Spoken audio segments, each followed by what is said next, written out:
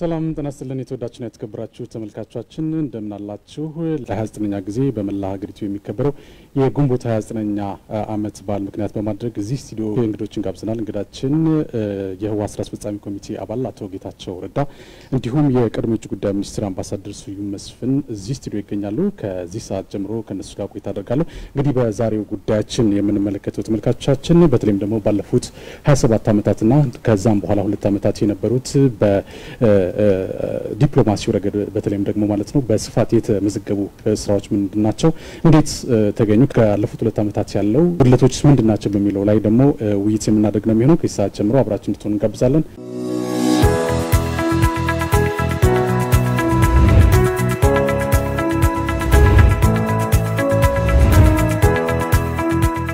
እንግዶች እንኳን ደህና መጣችሁ። ጥሩ እስቲ እንግዲህ ቀደም ሲል ለማንሳት ሞክረናል። ለ29ኛ ጊዜ ግንቦት ሀያ የድል ቀን ምክንያት በማድረግ ነው እንግዲህ እናንተም እዚህ ስቱዲዮ የተገኛችሁትና ከዚህ ጋር ተያይዞ ወደ ጠለቅ ያሉ ጉዳዮች ከመግባታችን በፊት እንደ መነሻ እንዲሆንን ማለት ነው በኢትዮጵያ ፖለቲካ ሂደት ውስጥ የግንቦት ሀያ ትሩፋቶች ብለን የምንላቸው ወይም መሰረታዊ የምንለን የፖለቲካ ትሩፋቶች ምንድን ናቸው የሚለው ነገር እንደ መነሻ ያት ጌታቸው ከእርሶ ልጀምር። ግንቦት ሀያ ትሩፋቶች የኢትዮጵያን የፖለቲካ ላንድስኬፕ ከመቀየር አንጻር ግንቦት ሀያ እጅግ ታሪካዊ የሚባል ስፍራ ያለው ነው። ግንቦት ሀያ አመጣቸው የምንላቸው ትልልቆቹ ትሩፋቶች ያው በዝርዝር ነገሮች ብዙ መናገር ይቻላል። ግን በዋናነት ድህነትና ኋላ ቀርነት በተደጋጋሚ ችግር ውስጥ የከተቷት ብዙህነትን ማስተናገድ ያልቻለች ሀገር ሰላምና ልማት የራቃት ድህነትና ኋላ ቀርነት በስፋት የተንሰራፋባት ሀገር ነበረች። ይቺ ሀገር በቋንቋ ይሁን በማንነት በሌሎች ዘርፎች በህዝቦች መካከል የነበረውን ብዙሀነት በወጉ ማስተናገድ የሚችልም ስርዓት ባለመኖሩ ምክንያት ለተደጋጋሚ ችግር የተዳረገች እንዳልኩት ለሰላም እጦትና ለጦርነት ለተከታታይ ጦርነት ለድህነት የተዳረገች ሀገር ነበረች። ስለዚህ እነኚህን ችግሮች በማምጣት ረገድ ትልቅ አስተዋጽኦ የነበረውን ስርዓት ከመሰረቱ የቀየረ አጋጣሚ ነው ማለት ነው ሀያ። ይህን ስንል የኢትዮጵያ ህዝብ አጠቃላይ ለረዥም ጊዜ የነበረው ታሪክ ውስጥ ስንገባ ለዘመናት የነበሩበት ድህነትና ኋላ ቀርነት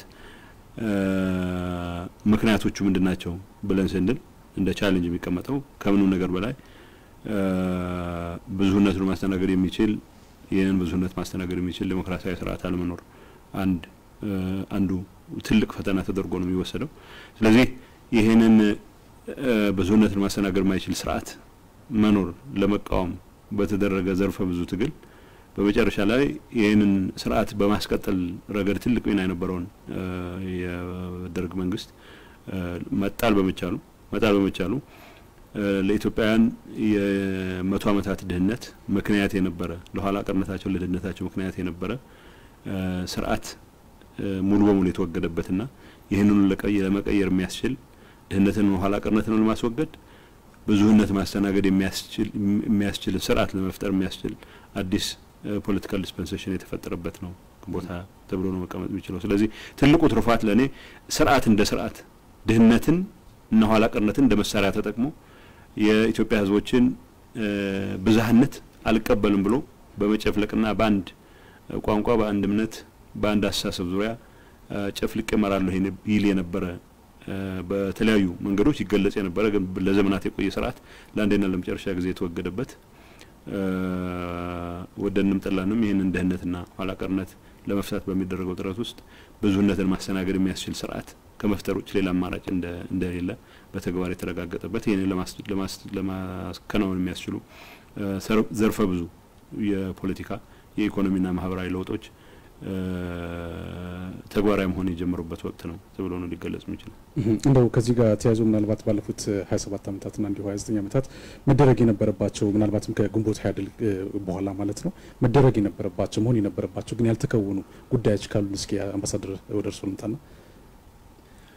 እሺ መጀመሪያ ያልከውን ልድገምና የመጀመሪያ ለመላው የኢትዮጵያ ሕዝቦች ብሔር ብሔረሰቦችና ሕዝቦች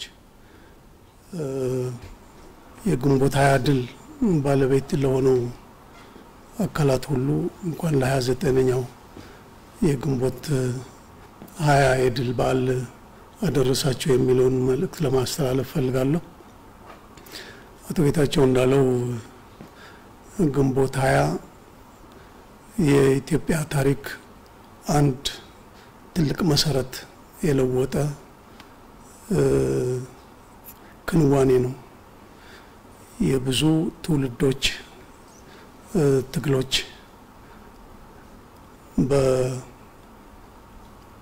በብዝሃነት ላይ የተመሰረተ አንድነት ለመመስረት በርካታ ትውልዶች ታግለውበታል፣ ብዙ ዋጋ ከፍለውበታል።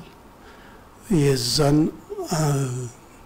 አስከፊ የታሪክ ሂደት ድምዳሜ እና አዲስ ብርሃን ያፈነጠቀበት መድረክ ስለሆነ በኢትዮጵያ ታሪክ አዲስ ምዕራፍ የከፈተ ከመሰረቱ ቅድሚያ ከነበሩበት ኳሊቴቲቭ በአይነቱ የተለየ አዲስ ምዕራፍ የተከፈተበት መድረክ ነው ብዬ አያለሁኝ። እኔም ከዚህ አኳያ በግንቦት ሀያ ድል እናሳካቸዋለን ብለን ግን ሳይሳኩ የቀሩ የሚለው ይህ እንግዲህ የታሪክ ሂደት ነው። የህብረተሰብ ግንባታ ነው። የስርዓት ግንባታ ነው። ጀምረነዋል እንጂ እዚህ ቋጭተነዋል፣ እዚህ ደርሰዋል የሚባል አይደለም። የግንቦት ሀያ ድሎች ያስቀመጧቸው ግቦች የረዥም ጊዜ ግቦች ናቸው። ኢትዮጵያን የበለጸገች ኢትዮጵያ በዴሞክራሲያዊ ስርዓት የዴሞክራሲያዊ ስርዓት የነገሰባት የሁሉም ዜጎች የዜጎች security አስተማማኝ ኑሮ የሚመሰረቱባት የበለጸገች ኢትዮጵያ በሳይንስ በቴክኖሎጂ መጥቃ የሄደች ካለማደጉት ከሚባሉት ህዝቦች ጋር ተደላድላ የምትኖርበት ሁኔታና ስርዓት መፍጠር የሚለው ነው። ይህን አስረው ይዘው ይህን እውን ለማድረግ አስረው የነበሩ ኋላ ቀር ኃይሎችን የማስወገድ ትግል ነው የተካሄደው። የመጀመሪያው ምዕራፍ በዛው ተዘግቷል። ከዚህ ቀጥሎ ግን የበለጸገች በዴሞክራሲያዊ ስርዓት የነገሰባት ሀገር በብዝሃነት ላይ የተመሰረተ እኩልነትና የዜጎች በአጠቃላይ ሰብአዊ ዴሞክራሲያዊ መብታቸውና የህይወታቸው የሚለወጥበት ብለን ያስቀመጥናቸው ናቸው። እንግዲህ ጉዞ ላይ ይሄ የአንድ ትውልድ ጉዞ አይደለም። የአንድ ትውልድ አመታት አልፈናል። በዚሁ ጊዜ መከናወን የነበረባቸው የተከናወኑ አሉ። እነዚህ ብቻ መከናወን ነበረባቸው ብሎ የማይታይ የሚታየል ነገር አይደለም። አሁን ያለው ሁኔታ ራሱ መስካሪ ነው። ወደኋላ የኋሊት ጉዞ የተጀመረበትና ትሩፋቶቹ ራሳቸው ከፍተኛ ፈተና የተጋረጠበት ሁኔታ ላይ ነው ያለ ነው። አገሪቱ ወዴት ነው እየሄደችበት ያለችው? አቅጣጫውን እንኳ ደፍሮ ለማስቀመጥ የማይቻልበት ሁኔታ ላይ ስላለን በጣም ቋፍ ላይ ወር መንታ መንገድ ላይ አለን የሚባልበት ሁኔታ ወደዛ ነው አሁን እየሄደችበት ያለችው ሀገሪቱ። ወደዛ ከሄድ ወደማንመለስበት ቁልቁል ሄደን እንደገና እስካሁን በሀያ ሰባት ዓመታት ያስመዘገብናቸው የኢኮኖሚ ፈጣን እድገት፣ የዲሞክራሲያዊ ስርዓት ግንባታ፣ የዲፕሎማሲው ግንኙነቱ በሁሉም ዘርፍ በሰብአዊ በሶሻል ግንባታ በሁሉም የሄድንባቸውን ያገኘናቸውን እስካሁን የደረስንበትንም ከእጃችን አምልጦ እንደገና ወደ ከፋ ሁኔታ ልንጓዝ እንደምንችላ ያለውና የቀሩን በጣም በርካታ ናቸው፣ ብዙዎች ናቸው። ይሄ ትውልድ ሰርቶት ሊያልፍ ካስቀመጣቸው አኳያ ግን ብዙ ተሰርተዋል ብዬ አምናለሁ። እንደው ምናልባትም በዓለም አቀፍ የሙያተኞች እየተገለጹ የሚገኙ በተለይ ደግሞ ኢትዮጵያ በዋናነት አደረገቻቸው ያሳካቻቸው የሚባለው አንዱ በ military science የዳበረ ወታደር ወይ ደግሞ መከላከያ ሰራዊት እንዳላት ይጠቀሳል። ከዚህ ጋር ተያይዞ እንግዲህ በተለያዩ የሰላም ማስከበር ሂደቶች ከሩዋንዳ ጀምሮ እስከ አብያ ያለው ማለት ነው የነበረው አስተዋጽኦ ከፍተኛ እንደሆነ ይነገርለታል። እንደው የዚህ ሚስጥር ምንድን ነው ነው የምንለው? እስኪ አቶ ጌታቸው ደርሶ በመጀመሪያ ደረጃ ይህን ጥያቄ እንኳ አምባሳደር ስዩም ቢመልሰው ነበር ሚሻል። ምክንያቱም የውጭ ጉዳይ እና የብሔራዊ ደህንነት ፖሊሲ ግንቦት ሃያ ድል ከተጎናጸፍም በኋላ ከመጡት የሀገሪቱን በአፍሪካም ይሁን በዓለም አቀፍ ደረጃ ያላትን ሚና በደንብ አጉልተው ካወጡትና በጸረ ድህነት ትግላችንም ሆነ በኢኮኖሚ መስክ በማህበራዊ ላስገኘናቸው ድሎች እንደ አንድ አንድ መልካም አጋጣሚ የሚቆጠር የውጭ ጉዳይና የብሔራዊ ደህንነት ፖሊሲያችን በግልጽ ያስቀመጣቸው ነገሮች ናቸው። ስለዚህ ከነዚህ ፖሊሲው ከመውጣቱም ከአፈጻጸሙም አንጻር ረዥም ጊዜ የሰራበት ከሆኑ አንጻር እንዳልኩት አምባሳደር ስዩም በዚህ ጉዳይ ላይ ሰፋ ያለ ነገር ሊናገር እንደሚችል ይገባኛል። ግንቦት ሃያ ስርዓት ለውጥ አመጣ ሲባል የአስተሳሰብ ለውጥ ቅድም እንዳልኩት ውጭ ጉዳይና ብሔራዊ ደህንነት ፖሊሲያችንን በግልጽ የሚያስቀምጠው ኢትዮጵያውያን ለድህነት፣ ለሰላም እጦት፣ ለችግር ለዘመናት የዳረጉ ነገሮች ሁለት category ነው የሚያስቀምጣቸው። እነዚህ ችግር የእነዚህ ሁሉ ችግር ምንጭ ብሎ የሚያስቀምጠው ድህነትና ኋላቀርነታችን በአንድ በኩል ብዙህነታችንን ማስተናገድ የሚችል ዲሞክራሲያዊ ስርዓት አለመኖሩ በሌላ በኩል የሚል እንደ ሀገር የጸጥታ challenge ኦቻችን ከውጭም ይሁን ከቅርብ ሊኖሩ የሚችሉ የስጋት ምንጮቻችን በዋናነት በእነዚህ twin ቻለንጆች ዙሪያ በእነዚህ መንታ ፈተናዎች ዙሪያ ነው። ድህነትና ኋላቀራችን ኋላቀርነታችን የተጋላጭነታችንም ምክንያት ነው። ብዙህነታችንን የማያስተናግድ የሚያስተናግድ ዲሞክራሲያዊ ስርዓት አለመኖሩም የዛ ነው ያክል ነው። ስለዚህ ሀገር ውስጥ ሊኖሩ የሚችሉ ግጭቶች፣ የውጭ ኃይሎች በእኛ ጉዳይ ላይ ሊኖራቸው ይችል የነበረው ጣልቃ ገብነት በዋናነት በእነዚህ ሁለት መንታ ፈተናዎች ዙሪያ የሚፈጠሩ ናቸው የሚል ክላሪቲ ነው የፈጠረው። የተፈጠረው የስርዓት ለውጥ ከዚህ ከዚህ ነው የሚጀምረው። የኢትዮጵያ ጠላቶች ታሪካዊ የሚባሉ ገሌ ገሌ የሚባሉ በስም የሚዘረዘሩ ጠላቶች ሳይሆኑ በዋናነት እነኚህን መነሻቸውን መድረሻቸውን በዋናነት ሀገር ውስጥ የሆኑ መንታ ፈተናዎች የመጋፈጥና ያለመጋፈጥ ጉዳይ ነው። የውጭ ጉዳይና የብሔራዊ ደህንነት ፖሊሲው እርግጥ ከህገ መንግስቱ የሚቀዳ ነው። የግንቦት ሀያ ትልቅ ትሩፋት ተብሎ መቀመጥ ያለበት ህገ መንግስቱ ነው። የህገ መንግስታዊ ስርዓት ቅድም ያልነውን ለኢትዮጵያውያን የዘመናት እርስ በርስ መተላለቅ በጠላት በተደጋጋሚ መጠቃት ምንጭ ሊሆኑ ይችላሉ ተብሎ በግልጽ የተቀመጡት እነዚህ ድህነትና ኋላ ቀርነት በአንድ ወገን፣ ብዙህነታችንን የሚያስተናግድ ዲሞክራሲያዊ ስርዓት አለመኖር በሌላ ወገን እነኚህም ሙሉ በሙሉ ለመፍታት የሚያስችል መሰረት ከማስቀመጥ አንጻር ትልቁ achievement ትልቁ ሰክሰስ ተደርጎ የሚወሰደው ህገ መንግስቱ ነው። ከህገ መንግስቱ የሚቀዱት በርካታ ፖሊሲዎች በልማት በኢኮኖሚ እድገት በውስጥ ውስጥ ያስመዘገብናቸው ድሎች አንድ ማሳያ ሊሆን የሚችለው እንዳልኩት የውጭ ጉዳይና የብሔራዊ ደህንነት ፖሊሲያችን ነው። የውጭ ጉዳይና የብሔራዊ ደህንነት ፖሊሲያችን የስጋት ምንጮቻችንን በዋናነት አገር ውስጥ ካሉብን ድክመቶች ነው ይመነጫሉ ብሎ የሚያምነው። ስለዚህ እነዚህን አድረስ ለማድረግ እነዚህን ለመፍታት የምናደርጋቸው እንቅስቃሴዎች እዛው ሳለ በአካባቢ ውስጥ ያለ በአካባቢው በአፍሪካም ይሁን በመካከለኛ ምስራቅ በዓለም ደረጃ ያለንን ሚናም define እያደረግ የሚሄድ እንደሆነ በግልጽ ያስቀመጠ ነው። so መንግስት ድህነትና ኋላ ቀርነት ለመፍታት በማህበራዊ ዘርፍ በኢኮኖሚ ዘርፍ ቀርጾ የሰራቸው በርካታ ፖሊሲዎች አሉ። እነዛ ፖሊሲዎች ውጤታማ ሆነው በእርግጥም ኢትዮጵያ ከድህነት poster child ነት ከረሃብ poster child ነት ከረሃብ ምሳሌነት ፈጣን ኢኮኖሚ እድገት እያስመዘገቡ ካሉ ሀገራት ተርታ መመደብ ችላለች። በመከላከያ ዘርፍም ቢሆን በዋናነት ትኩረት ማድረግ ያለብን የሀገር ውስጥ ችግሮቻችንን ለግጭት ምክንያት ሊሆኑ የሚችሉ ለእርስ በርስ መባላት ምክንያት ሊሆኑ የሚችሉ የተጠቃሚነት የፍትሀት ተጠቃሚነት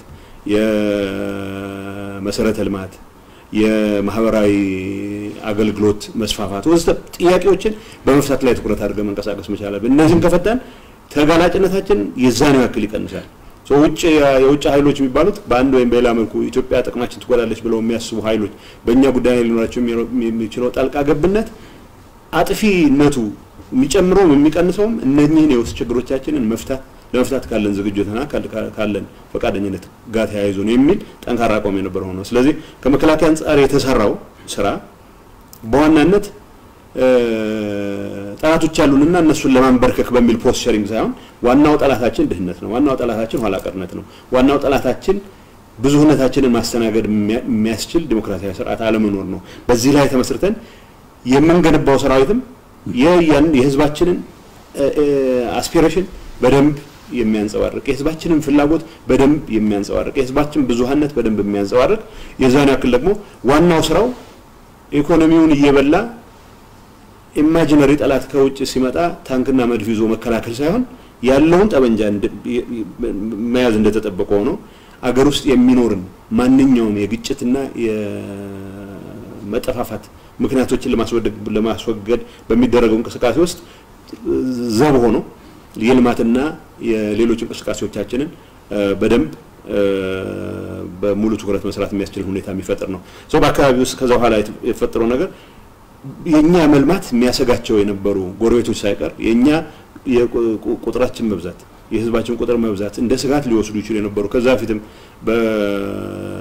ከዛ በፊት ከግንቦት ሀያ በፊት በነበረው ስርዓትም አንዱን የተነፋ ጎማ አስተነፍሳለሁ፣ አንዱን ይህን እናደርጋለሁ፣ ሚሳይል አምርቼ ይህን እናደርጋለሁ የሚል belligerent የሆነ አካሄድ ሳይሆን በዋናነት እኛ መልማታችን ከትልቅ ገበያ ከመሆናችንም አንጻር መልካም አጋጣሚ ነው ብሎ የሚያምኑ ጎረቤቶች መፍጠር በመቻላችን ለመስፋት ለማደግ ባደረግነው እንቅስቃሴ ገበያ እንፈልጋለን፣ መንገድ እንሰራለን፣ infrastructure ያስፈልገናል፣ ወደቦች ያስፈልጉናል። እነኚህ ሁሉ እነዚህን ለማሳካት በተደረጉ እንቅስቃሴዎች ተሰሚነታችን እየጨመረ ግን ደግሞ እንደተባለው መከላከያ ኃይላችን ዋናው የትኩረት አቅጣጫው ዋናው የትኩረት አቅጣጫው እነኚህን ጎረቤቶች potential ወዳጆች መሆን የነበረባቸውን ጎረቤቶችና ራቅ ያሉ እንትኖች ሊወሩን ይችላሉ የሚል የተለየ paranoia ውስጥ ገብቶ መንቀሳቀስ ሳይሆን በዋናነት ለኢኮኖሚ እድገቱ አስቻይ የሚባሉ ሁኔታዎችን መፍጠር ላይ ትኩረት ያደረገ ነው። ይህን ማድረግ መቻላችን ወዳጆቻችንን ጨምረናል። at the same time ወዳጆቻችን ችግር ውስጥ ሲገቡ፣ ጎረቤቶቻችን ችግር ውስጥ ሲገቡ ምናልባት በሰላም ማስጠበቅ ታሪክ ልዩ ሊባል የሚችል በአንድ ጎረቤት ሀገር ጉዳይ ላይ ሙሉ ኃላፊነት ለአንድ ጎረቤት ሀገር የተሰጠበት ለምሳሌ የአብይን ሁኔታ የወሰደን እንደሆነ በሌሎችም የሰላም ማስጠበቅ እንቅስቃሴዎች ጉልህ ሚና ለመጫወት ችለናል። ዋናው በመከላከያ ውስጥ መከላከያን ለመገንባት የተደረገው ጥረት ወደድንም ጠላንም ቅድም እንዳልኩት ነው። የኢኮኖሚ እድገት ፖሊሲዎቻችን ለኢኮኖሚ እድገት ተብሎ የማህበራዊ እድገት ብለን ያመጣናቸው ፖሊሲዎች ከውጭ ጉዳይ ደህንነት ፖሊሲዎችም ያላቸው interface በጣም የሚገርም ነው። interface ኡ አሁንም ቢሆን ሁሉም ፖሊሲዎቻችን ትኩረት የሚያደርጉት እነዚህን መንታ ፈተናዎች የሚባሉት ድህነትንና ኋላ ቀርነትን በአንድ በኩል ብዙሃነትን ማስተናገድ የሚያስችል ዲሞክራሲያዊ ስርዓት አለመኖርን በሌላ በኩል address ለማድረግ በምናደርጋቸው ጥረቶች የሚወሰኑ ናቸው የሚል ነው። የዛ ውጤትም ጭምር ነው። መከላከያ ኃይላችን ጥይት ተተኮሰ ብሎ ጥይት ለመተኮሱ የሚሯሯጥ ሳይሆን በተቻለ መጠን ለልማት የሚደረጉ እንቅስቃሴዎችን የሚያግዝ የህዝቦችን አስፒሬሽን ተረድቶ የህዝቦችን ጥያቄ ለመመለስ በሚደረጉ እንቅስቃሴዎች የሚተጋ ሰራዊት ነው መሆን የቻለው። ይህ ማለት ችግሮች አልነበሩም ማለት አይደለም። ቢያንስ ቢያንስ ግን በዚህ ጉዳይ ላይ ትኩረት አድርገን በመስራታችን በመጠኑ በሳይዙ ልክ ጦርነት እየፈለገ ጦርነት እያሸተተ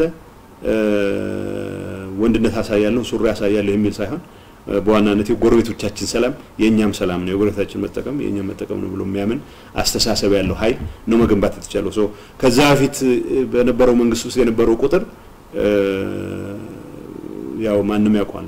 በመቶ ሺዎች ምናልባትም በሚሊዮኖች የሚቆጠር ሰራዊት ተይዞ የሀገሪቱንም ደህንነት የሀገሪቱንም ሰላም ማስጠበቅ ያልተቻለበት ሁኔታ የነበረው የዛን fraction ገንብተን ግን የሀገሪቱን ሰላም በአስተማማኝ ሁኔታ መጠበቅ የተቻለበት ሁኔታ መፍጠር የተቻለው በዋናነት የብሔራዊ ደህንነትም ሆነ የመከላከያ የውጭ ደህንነት የውጭ ግንኙነት ፖሊሲያችን የልማት ፖሊሲያችን ህገ መንግስቱ ካስቀመጠው የህዝቦች aspiration መመለስ የህዝቦችንን ፍላጎት የማሟላት የኢትዮጵያን መንታ ፈተናዎች የመፍታት አካሄድ ጋር consistent ሆኖ የሄደ አካሄድ ስለተከተልን የሚል ነገር ማንሳት ይቻላል። ጥሩ አምባሳደር ወደ እርሶ ልመለስ እስኪ እንደው ቀደም ሲል እንግዲህ ለማንሳት ሞክረናል። በተለይ በዲፕሎማሲው ረገድ ኢትዮጵያ ከአሁን በፊት የነበራት ሮል ምን እንደሚመስል ዓለም የመሰከረበት ሁኔታዎች ማየት እንችላለን። በተለይም ደግሞ ከራሱ አልፋ የአፍሪካ ልሳን ብሎም በተለያዩ ዓለም አቀፍ መድረኮች የምትታይበት ሁኔታዎች አሉ። ለዚህም ለምሳሌ ማሳየት እንችላለን ጄኤት ጄ ትዌኒ እንዲሁም ደግሞ ኢጋድን እንደ ኢጋድ ራሱን ችሎ እንዲቆም ከማድረግ አንጻርም ከፍተኛ ስራዎች እንደተሰሩ የተለያዩ መረጃዎች ያመላክታሉ። እንደው የዚህ ሚስጥር ምንድን ነው የሚለው ነገር እስኪ እናንሳው አምባሳደር። የውጭ ግንኙነትና የብሔራዊ ወይም ሀገራዊ ደህንነት ፖሊሲና ስትራቴጂ መሰረት አቶ ጌታቸው ብሎታል። መነሻው ህገ መንግስቱ ነው። መነሻው በግንቦት ሀያ ድል ከተቀዳጀናቸው ትሩፋቶች አንዱ ነው ብሎ መውሰድ ተገቢ ይሆናል። በሀያ ሰባቱ አመታት የተከናወኑ የውጭ ግንኙነት እና የብሔራዊ ደህንነት ፖሊሲና ስትራቴጂዎች ምን አስገኙልን? ምን ላይ ነበር ድሉ ጎልቶ የሚታየው? ጥረቶች ከነበሩት በየት አካባቢ ነው ብሎ ለማየት ትንሽ ወደ ኋላ መለስ ብሎ ማመዛዘንን ይጠይቃል፣ ማስተያየትን ይጠይቃል። አንድ ጥሩ research ያደረገ ጽሁፍ አይቻለሁ። በስም ብቻ ነው የማውቀው በጽሁፍ ስሙ ሰሎሞን ዲባባ ይላል። የኢትዮጵያ የውጭ ግንኙነት ፖሊሲ ከመጀመሪያ አጼ ኃይለ ሥላሴ ንጉሠ ነገሥት ተብሎ ኢትዮጵያን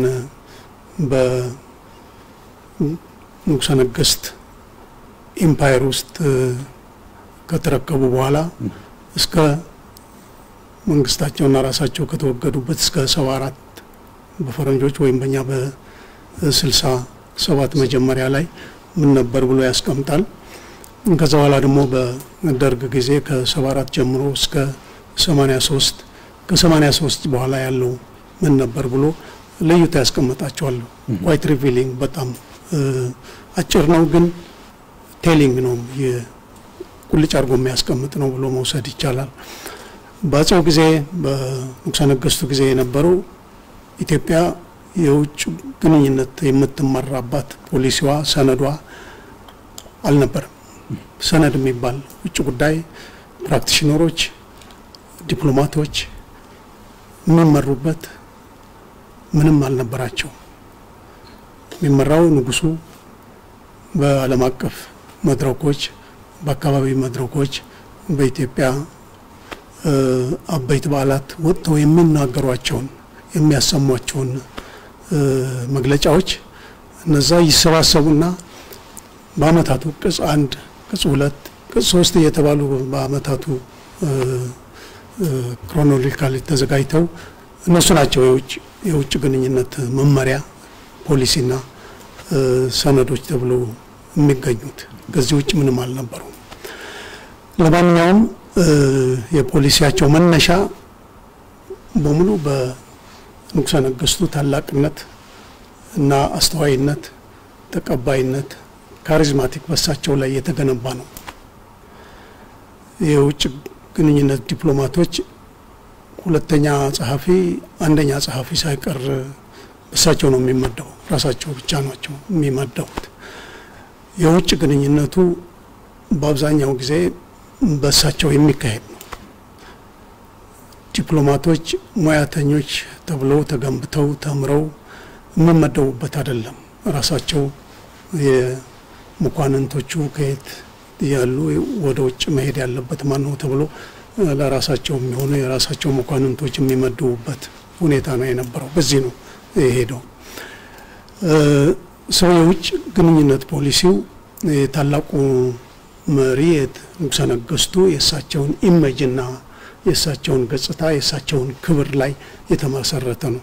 አገሪቱም የኃይለ ሥላሴ ኢትዮጵያ ነው እንጂ የኢትዮጵያ ኃይለ ሥላሴ ተብሎ የሚጠራበት አይደለም የነበረ። he owns country የእሱና የእሳቸው ናት። ስለዚህ የኃይለ ሥላሴ ኢትዮጵያ ይህን እያደረገች ነው ተብሎ የሚታይበት የአይነት ከበሬታ የነበራቸው ነው። በዚህ ነው የሚለካው መነሻው። ይሄ ሆኖ ግን በሀገሪቱ ሉዓላዊነት በሀገሪቱ ውጭ ግንኙነት ምን ሰርተዋል የሚባለው የሚያኮሩ የተሰሩ አሉ። በአብዛኛው ጊዜ ጊዜ የውስጥ ሁኔታችንን አይተን የውስጥ ሁኔታችንን ለመፍታት የውስጥ ችግሮቻችንን ለመፍታት ያልተቃኘ የውጭ ግንኙነት የውጭ የውጭ ግንኙነት ነው የሚሆነው። በአብዛኛው በ collective security ላይ በጦር ግንባታ ላይ በምን በምን ላይ አትኩረው ሲሰሩበት የነበረ ነው በአብዛኛው የውጭ ግንኙነቱ ብሎ መውሰድ ይቻላል። Non-Aligned Movement ላይ የአፍሪካ አንድነት ድርጅት ምስረታ ላይ እነዚህ collective security ይሰጣሉ በሚባሉት ዋናው ቅኝቷ ያን ያስመለከተ ነው የነበረው። በደርግ ጊዜ ዓለም አቀፋዊነት መሰረት ያደረገ ነው። የኢትዮጵያ ሁኔታ ይሄ ነው ያለው። የኢትዮጵያ ጥቅም ይሄ ነው። ብሔራዊ ጥቅሟ ይሄ ነው። የሕዝቦቹ ፍላጎት ይሄ ነው። የሀገሪቷ ፍላጎት ይሄ ነው። ስለዚህ ይህን መሰረት ያደረገ የውጭ ግንኙነትን ቀርጻለን ብለው የተነሱበት አልነበረም። ዓለም አቀፋዊነትን ተግባራዊ ለማድረግ የዓለም አቀፋዊነት ማዕከሉ ሶቪየት ህብረት ማዕከሉ እሱ ነው። ስለዚህ እሱ በሚያወጣቸው እቅዶች የእሱን ስትራቴጂዎች በሀገርህ ውስጥ ማስተግበር አለብህ፣ መተግበር አለብህ። ይህንን ዋና እንደ ገዢ መነሻ አድርገው የሄዱበት ነው። በደርግ ጊዜም የውጭ ግንኙነት ፖሊሲ ሰነድ አዘጋጅተው የተዉት የለም። መጨረሻ ላይ አንድ አመት ሁለት አመት የደርግ የመገዳ እድሜ ማገባደጃ ላይ ሲቀር በውጭ ጉዳይ የተገኘ ሰነድ አለ። በአብዛኛው የአካባቢን ሁኔታ እና የዓለም ሁኔታን ይገመግማል። ግን በድብቅ ከአስር ጥራዝ በላይ የታተም አልነበረም። እነዚህ በመሪዎቹ እጅ ብቻ ነው የሚገኙ። ውጭ ጉዳይ ሚኒስቴር አንድ document አንድ አንድ ጥራዝ ነበረች። እሷን የያዟት ነፍሳቸው የማረውና አቶ ተስፋዬ መካሻ የሚባሉ የውጭ ጉዳይ የፖለቲካ አማካሪ ነበሩ። እሳቸው ቢሮ ተቆልፋ ነበር የምትቀመጠው። ማንም የሚያያት አልነበረም። ሰነዱ ላይ ነው። አሁን በ archive በውጭ ጉዳይ ሚኒስቴር አለ ይታያል። ይሄኛው ኢትዮጵያ በጠላት የተከበበች belligerent ኃይሎች የከበቧት መፈናፈኛ ያጣች ሀገር siege mentality የሚለው ሁሉም በዙሪያዋ ጠላት ነው። ምዕራቡ ዓለም በሙሉ ጠላት ነው። except የተሰለፉበት ካምፕ የምስራቁ camp የ former ሶቪየት ካምፕ ካልሆነ በስተቀር ሌላው በሙሉ ጠላት ነው ብሎ ፈርጆ ያስቀመጠ ነው። ይህም ብሎ ግን በሌላ በኩል ደግሞ peaceful coexistence ይላል። በሰላም አብሮ የመኖር የሚል አለ። በሰላም አብሮ የሚኖርበት ከጎረቤቶቹም ጋር አብሮ የሚኖርበት ሁኔታ ሳይፈጥር ነው ያለፈው። ይህ አይነቱ የውጭ ግንኙነት ይዛ ስትመራ የነበረች ሀገር ሰነድ የሚባልም ያልነበራት ነው። የግንቦት ሀያ ትርፋቱ የህገ መንግስቱ ላይ ተቀምረው በሙሉ የተቀመጡቱ እነሱ የፈጠሯቸው በርካታ በልማቱም ዘርፍ በውጭ ግንኙነትም በሰራዊትም በጸጥታውም በሁሉም በማህበራዊም በሁሉም ጉዳዮች ላይ ቁልጭ ያሉ የኢትዮጵያ ህዝብ የሀገሪቱ የወቅቱ እና የመጪው ጉዞ ፍላጎቶች ምንድን ናቸው የሚሉት መነሻ አድርገው ነው የተቀረጹት። የውጭ ጉዳይ ከግንቦት ሀያ በኋላ የመጀመሪያው ምርጫ ሰማኒያ ሰባት ላይ እንደተካሄደ አንድ ሰነድ አውጥቶ ነበር። የውጭ ጉዳይ የውጭ ጉዳይ የውጭ ግንኙነት ፖሊሲ የሚል ያ ሰነድ ለስምንት ዓመት አገልግሏል። የሽግግር ወቅቱ እንደተገባደደ ፖሊሲ የቀረጸ የውጭ ጉዳይ መስሪያ ቤት ብቻ ነበር። በካቢኔ የጸደቀ ነው። ሁሉም መስሪያ ቤቶች፣ ሁሉም የተቋማት ከውጭ ጉዳይ ተምረናል ብለው ያዩበት ነው። ከሽግግር መንግስት በኋላ ከሽግግር መንግስት በኋላ ማግስት ህገ መንግስቱ ከጸደቀ በኋላ ያንን መነሻ አድርጎ የጸደቀ ፖሊሲ ነው። ይሄ ለስምንት ዓመት ተጓዝንበት። ከዛም በዘጠና አምስት ወደ መስከረም ጥቅምት አካባቢ ደግሞ የኋለኛው ሁለተኛው ሰነድ የውጭ ግንኙነት እና የብሔራዊ ደህንነት ፖሊሲና ስትራቴጂዎች የሚል በሁለቱ መካከል ፋንዳሜንታል የሆኑ ልዩነቶች የሉትም። ግን የኋለኛው ቁልጭ አድርጎ እንደገና ያስቀመጣቸዋል። የመጀመሪያው ድህነት መዋጋት አለብን፣ economic diplomacy ነው ይላል የመጀመሪያው። የኋለኛው ግን ድህነት ለማጥፋት ብቻ ሳይሆን ለህልውና ለሀገሪቱና ለህብረተሰቡ ህልውና አስጊ ሁኔታ ድህነት ነው። ድህነትን መዋጋት አለብን። በውጭ ግንኙነትም ይሁን በሰራዊትም ይሁን በፖለቲካው ይሁን በሁሉም ድህነትን ተላምዶ መኖር የማይቻልበት ደረጃ ላይ ደርሰናል። አሁን ያለው ህዝብ አሁን ያለው ትውልድ ድህነትን ተሸክሞ በሰላም መኖር የሚችል አይደለም።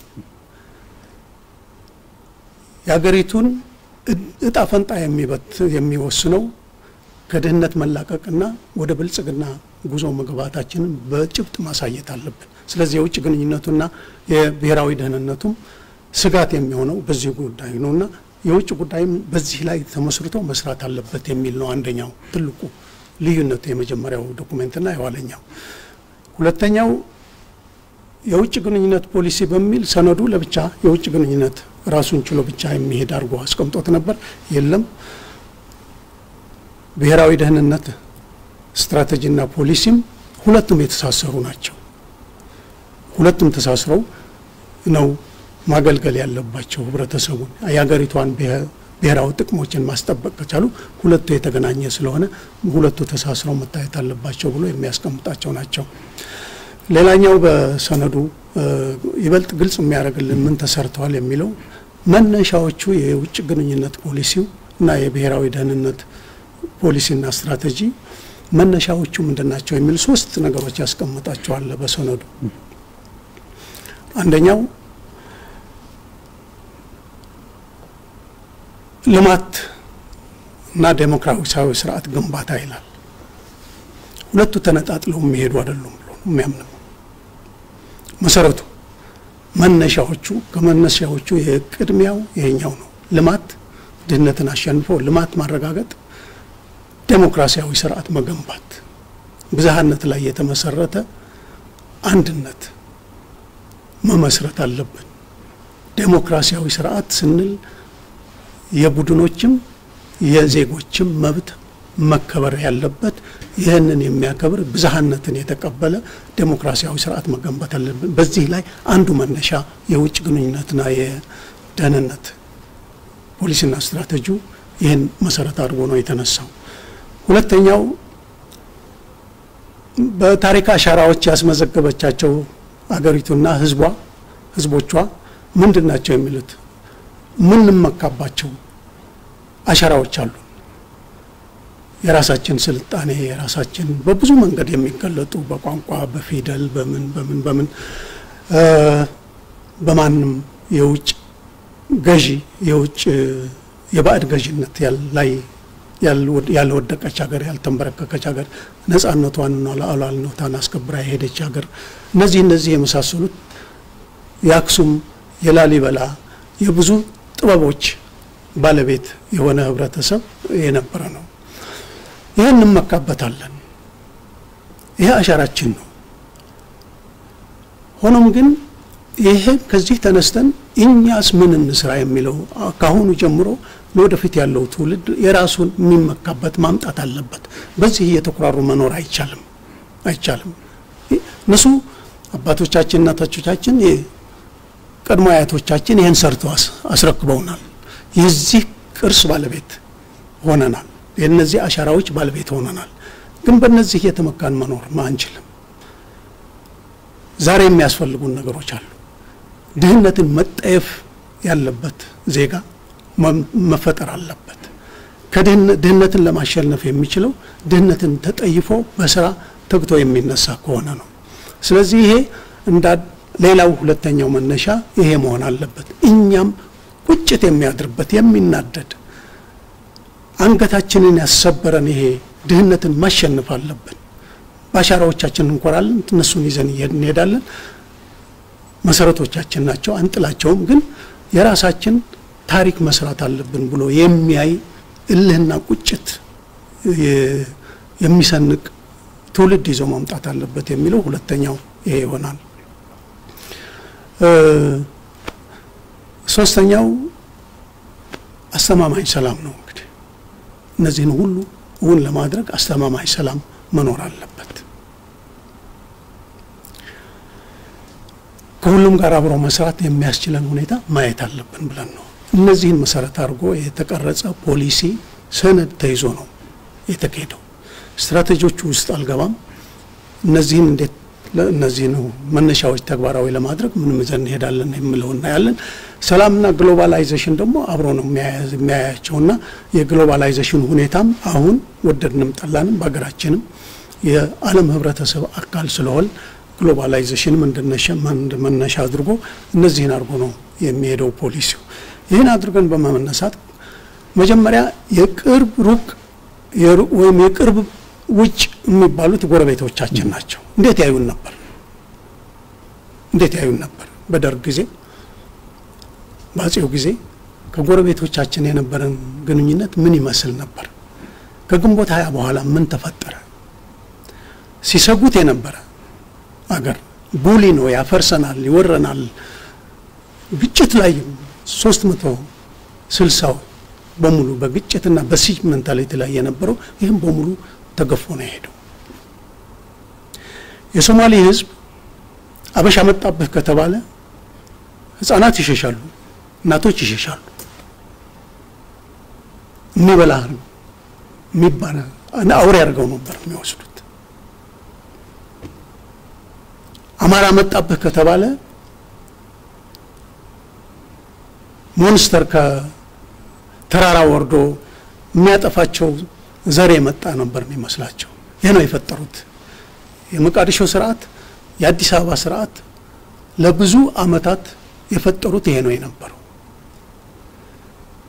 ሶማሊያ መንግስት አልባ ብሔረ መንግስት አልባ ሆኖ ስቴት አልባ ሆኖ በፈረሰ ጊዜ ከየት መጣችሁ ሳይባል የተቀበላቸው ኢትዮጵያ ህዝብ ኑ ካምፕ ግቡ፣ ከተማ አትገቡም፣ ታሰሩ፣ ተፈቱ ሳይላቸው በሙሉ በችግራችን ጊዜ እንደደረሱልን እኛም በችግራቸው ጊዜ ወንድሞቻችን ናቸው እህቶቻችን ናቸው ብሎ ያስተናገዳቸው አይነት ይሄ ከስረ መሰረቱ ስርዓቶቹ የፈጠሩት እንጂ የሁለቱም ህዝቦች ፍላጎት አንድ እና አንድ ሰላም፣ ልማት፣ እድገት መሆኑን ያዩበት ሁኔታ ነው። የሶማሊያና የኢትዮጵያ ህዝቦች አሁን ያላቸው በመካከላቸው ላይ ያለ ግንኙነትና መተማመን ከማንም በላይ ይሄዳል። ከጅቡቲ ጋር ተመሳሳይ ነው። ከሱዳን ጋር እንደዚሁ ተመሳሳይ ነው። ኢትዮጵያና ሱዳን መንግስታቱ የሚናቆሩ መንግስታት ነው የነበሩት።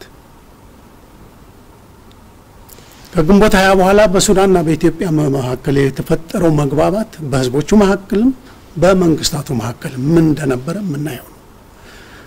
across the sea ከመካከለኛው ምስራቅ ጋር አንዱ በሌላው ላይ የሚዶልትና እንደ ጠላትነት የሚታይ ሳይሆን በቋንቋ በሃይማኖት በምን ሳይሆን ኢትዮጵያ የሁሉም ሃይማኖቶች ውቅያኖስ እንጂ የአንዱ ሃይማኖት ደሴት ስላልሆነ ስላልነሆነች ግን ያ አድርገው ያዩ ስለነበረ በሩ ተከፍቶ ከሁሉም ጋር የጋራ ትብብር የጀመርንበት ነው። የቅርባችንን ስናይ ይህ አይነት ነው።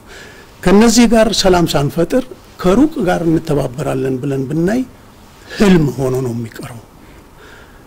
የውስጥ ችግራችን የመጀመሪያ ቀጥሎ ከአካባቢያችን ያለው ሰው የውስጣችንን ብዝሃነት ላይ የተመሰረተ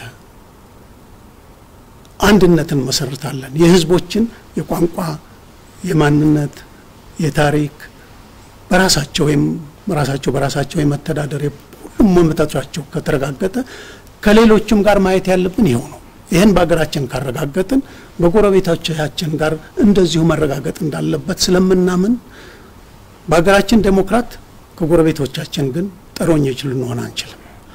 በሀገራችን ዴሞክራት ከሆን ከሌላውም ጋር ዴሞክራት ስርዓት፣ የጋራ ፍላጎት፣ የጋራ መቻቻልን እንፈጥራለን ብለን ነው። ስለዚህ አካባቢው በሙሉ መዋሃድ አለበት። በኢኮኖሚ፣ በማህበራዊ፣ በፖለቲካ፣ በሁሉም ግንኙነቱ መስፋት አለበት። የህዝብ ለህዝብ ግንኙነቱ፣ የመንግስት ለመንግስት ግንኙነቱ የጋራ ገበያ የጋራ ትልቅ ገበያ መመስረት አለብን። የጋራ እድገት ማምጣት አለብን። የጋራ ሰላም መያዝ አለብን ብሎ የተሰራበት ነው። ከሁሉም በላይ ራቆ ሄዶ በውጭ ይሄን ሰርተናል ምን ሰርተናል ብቻ ሳይሆን በአፍሪካ ቀንድ ምን ሰርተን ነበር፣ ምን ሁኔታ ተፈጥሮ ነበር የሚለውን ነው ማየት። ለዚህ ነው ኢትዮጵያ ከሱዳን ጋር የሚያገናኘን የቴሌኮምና የኤሌክትሪሲቲ የመንገድ ካርቱም አዲስ አበባ የአስፋልት መንገድ የተዘረጋው በበጋ ካልሆነ በስተቀር እያቋረጡ ማሳዎችን እያቋረጡ የሚካሄድበት ካልሆነ በስተቀር ይሄ ነው የሚባል ሱዳንና ኢትዮጵያ የሚያገናኝ መንገድ ኖሮ አያውቅም ኖሮ አያውቅም። ከኬንያ ጋር የነበረን ግንኙነት የኢትዮጵያ ሄደ ሄድና ሞያሌ ላይ ያቆማል። የኬንያ ይመጣ ይመጣና ማርሳ ቤት ላይ ያቆማል። አይሄድም፣ አይመጣም ወደ ድንበር እንዳይመጡበት ችግር እንዳይመጣበት ሆን ብሎ አራት መቶ ኪሎ ሜትር አስፋልት እንዳይሆን ቆርጠው የተዉት ነበር ኬንያ። ይህን ለማሰራት በጋራ በጋራ አውሮፓ ህብረትን አግኝተን ይህን መንገድ ለመቋጨት እና ለማገናኘት የተሞከረ ከደቡብ ሱዳን እንደዚሁ ነው። ከጅቡቲ ጋር ምን አድርገናል? እንደ ተአምር የሚታይ ነው። ከጅቡቲ ጋር የተሳሰርንበት በሁሉም በሁሉም በሁሉም ከሶማሊያ ጋር እንደ አጋጣሚ ሆኖና ስርዓት አልባ ነገሰ የሶማሊያ በተለያዩ ችግሮች በፖለቲካ ችግሮች ምክንያት አሁን ያለችበት ሁኔታ የምናውቀው ነው። በጋራ ማደግና የጋራ ሰላም መገንባት በምንችልበት ወቅት ሶማሊያ ያጋጠማት የእርስ በርስ ጦርነት እና መበታተን የምናየው ነው። ግን እስከ ድንበር ድረስ በሶማሊያም ነገ ሰላም ስናገኝ እንሄድበታለን ብለን እስከ ድንበር ድረስ የአስፋልት መንገዶች ሰርተንበታል።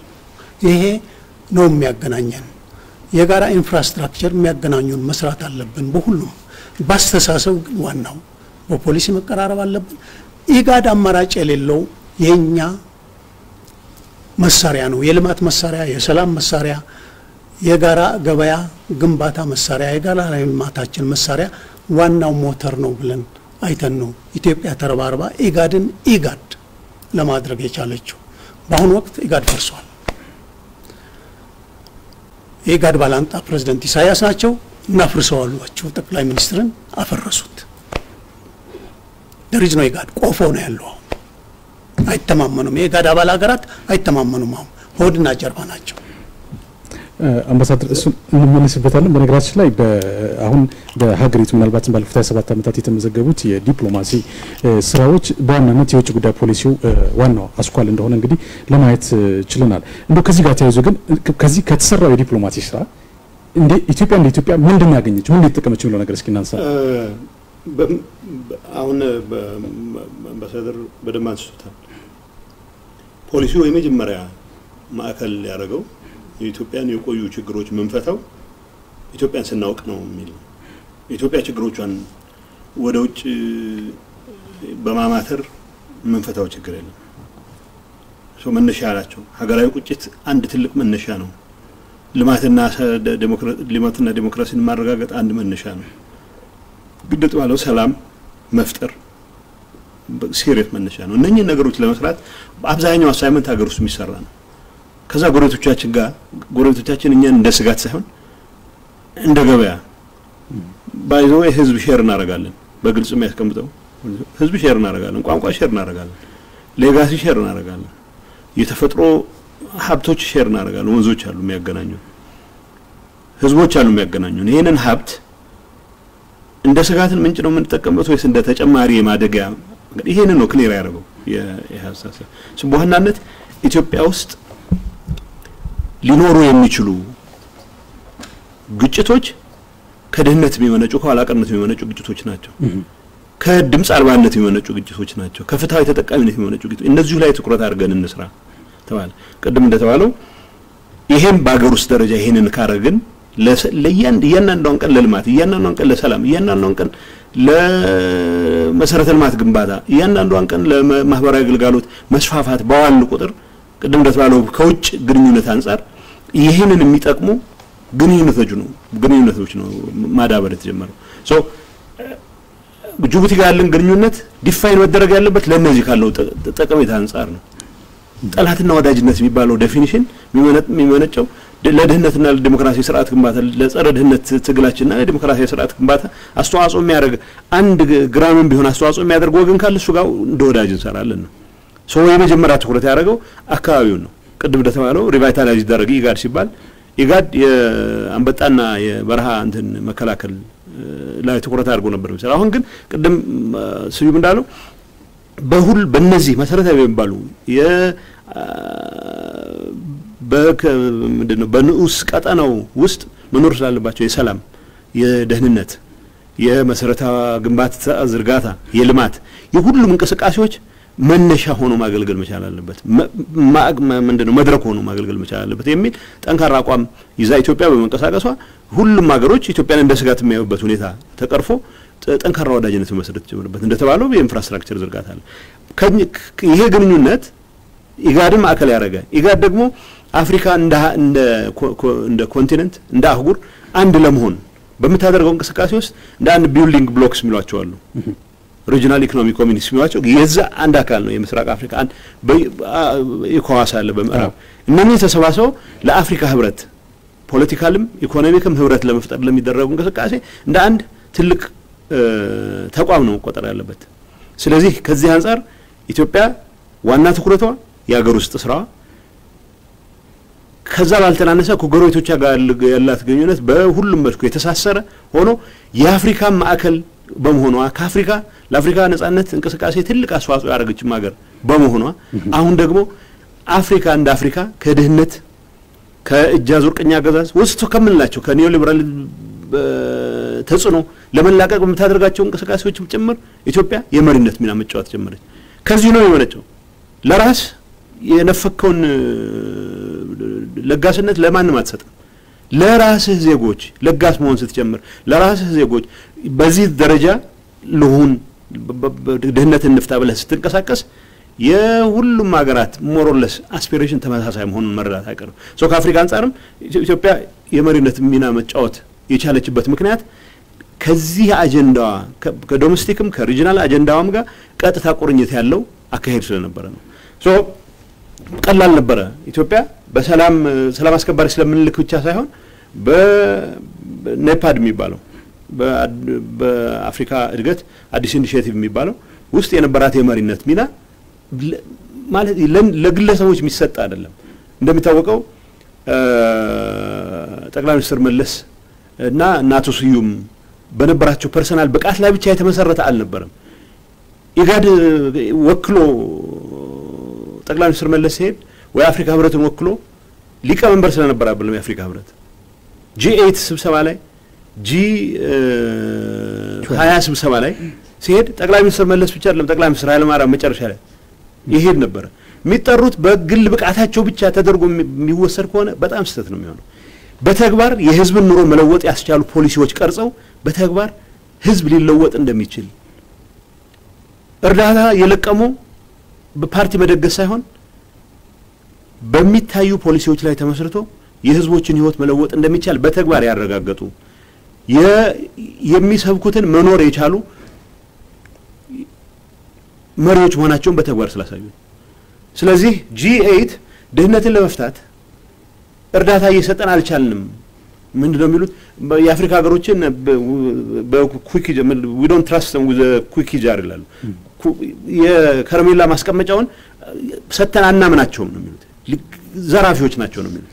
so no መተጋገዝ ማለት partnership እንደሆነና necessarily የአሜሪካ የአፍሪካ መንግስታት የማድረግ አቅም ልማት የመፈጸም አቅም እስከተጠናከረ ድረስ መልካም ለህዝቦቻቸው መልካም የሚሹ መንግስታት እስከኖሩ ድረስ እርዳታ በመምጣቱ እገዛ በመምጣቱ ብቻ ወደ ዘረፋ የሚገባት ምክንያት የለም ብሎ single-handedly መሟገት የቻለ መንግስት መፍጠር ስለተቻለ ነው።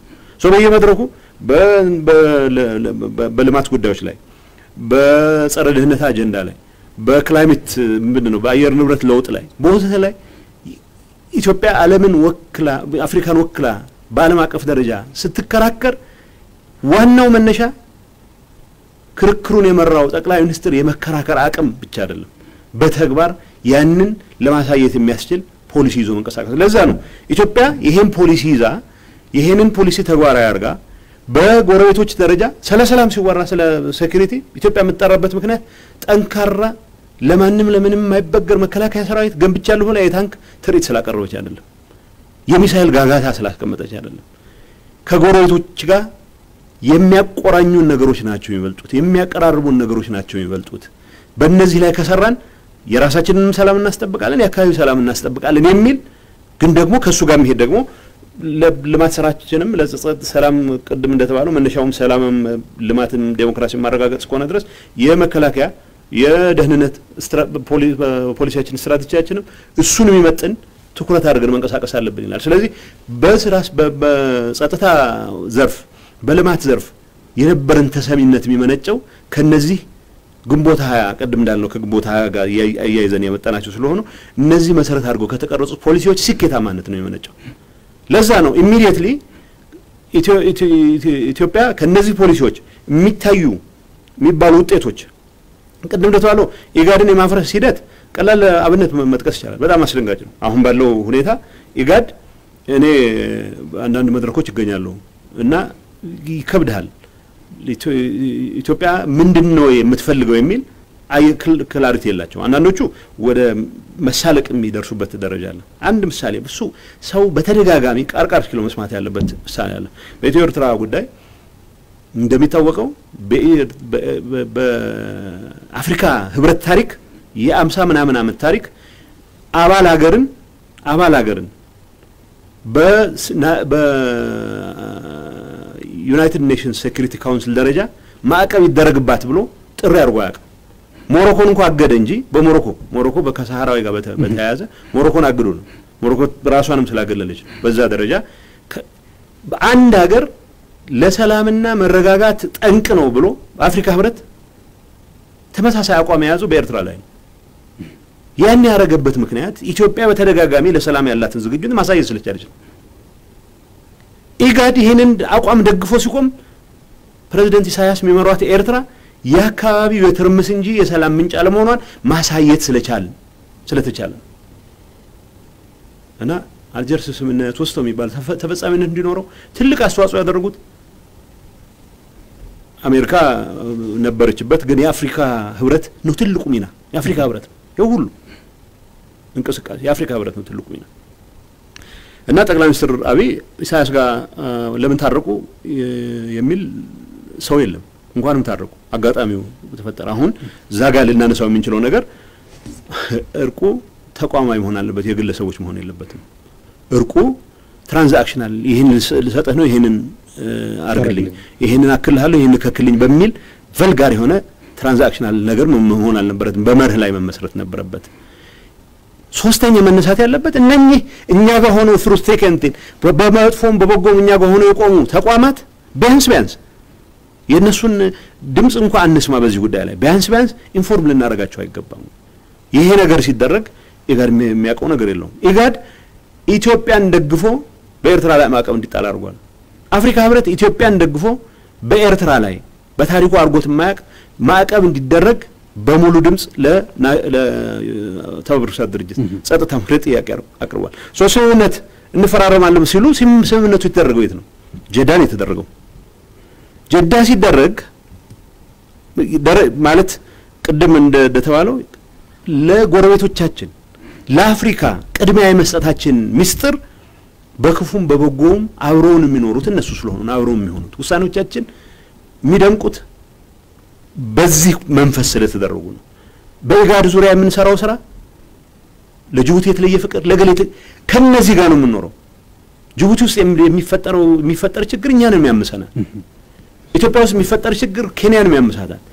በዚህ መግባባት ላይ ተመስርቶ በጋራ እናድጋለን በሚል መንፈስ ከዛ አልፈን ደግሞ በኢጋድ ደረጃ የምናሳየው አንድነት ለአፍሪካ አንድነት ፖለቲካዊ ይሁን ኢኮኖሚያዊ አንድነት ትርጉም ያለው ሚና ይኖረዋል ብለን ነው ስንንቀሳቀስ ይኖር ነው። ስለዚህ በዚህ ጉዳይ ላይ stake ያላቸው በዚህ ጉዳይ ላይ በኢትዮጵያና በኤርትራ መታረቅ ረዥም ጊዜ የለፉ ኢጋድና አፍሪካ ህብረት በዚህ ጉዳይ ላይ ለወሬ ለወሬ at least ይሄ ይሄ የሆነ ነው ተብሎ ሊነገራቸው አይገባም ነበር ወይ?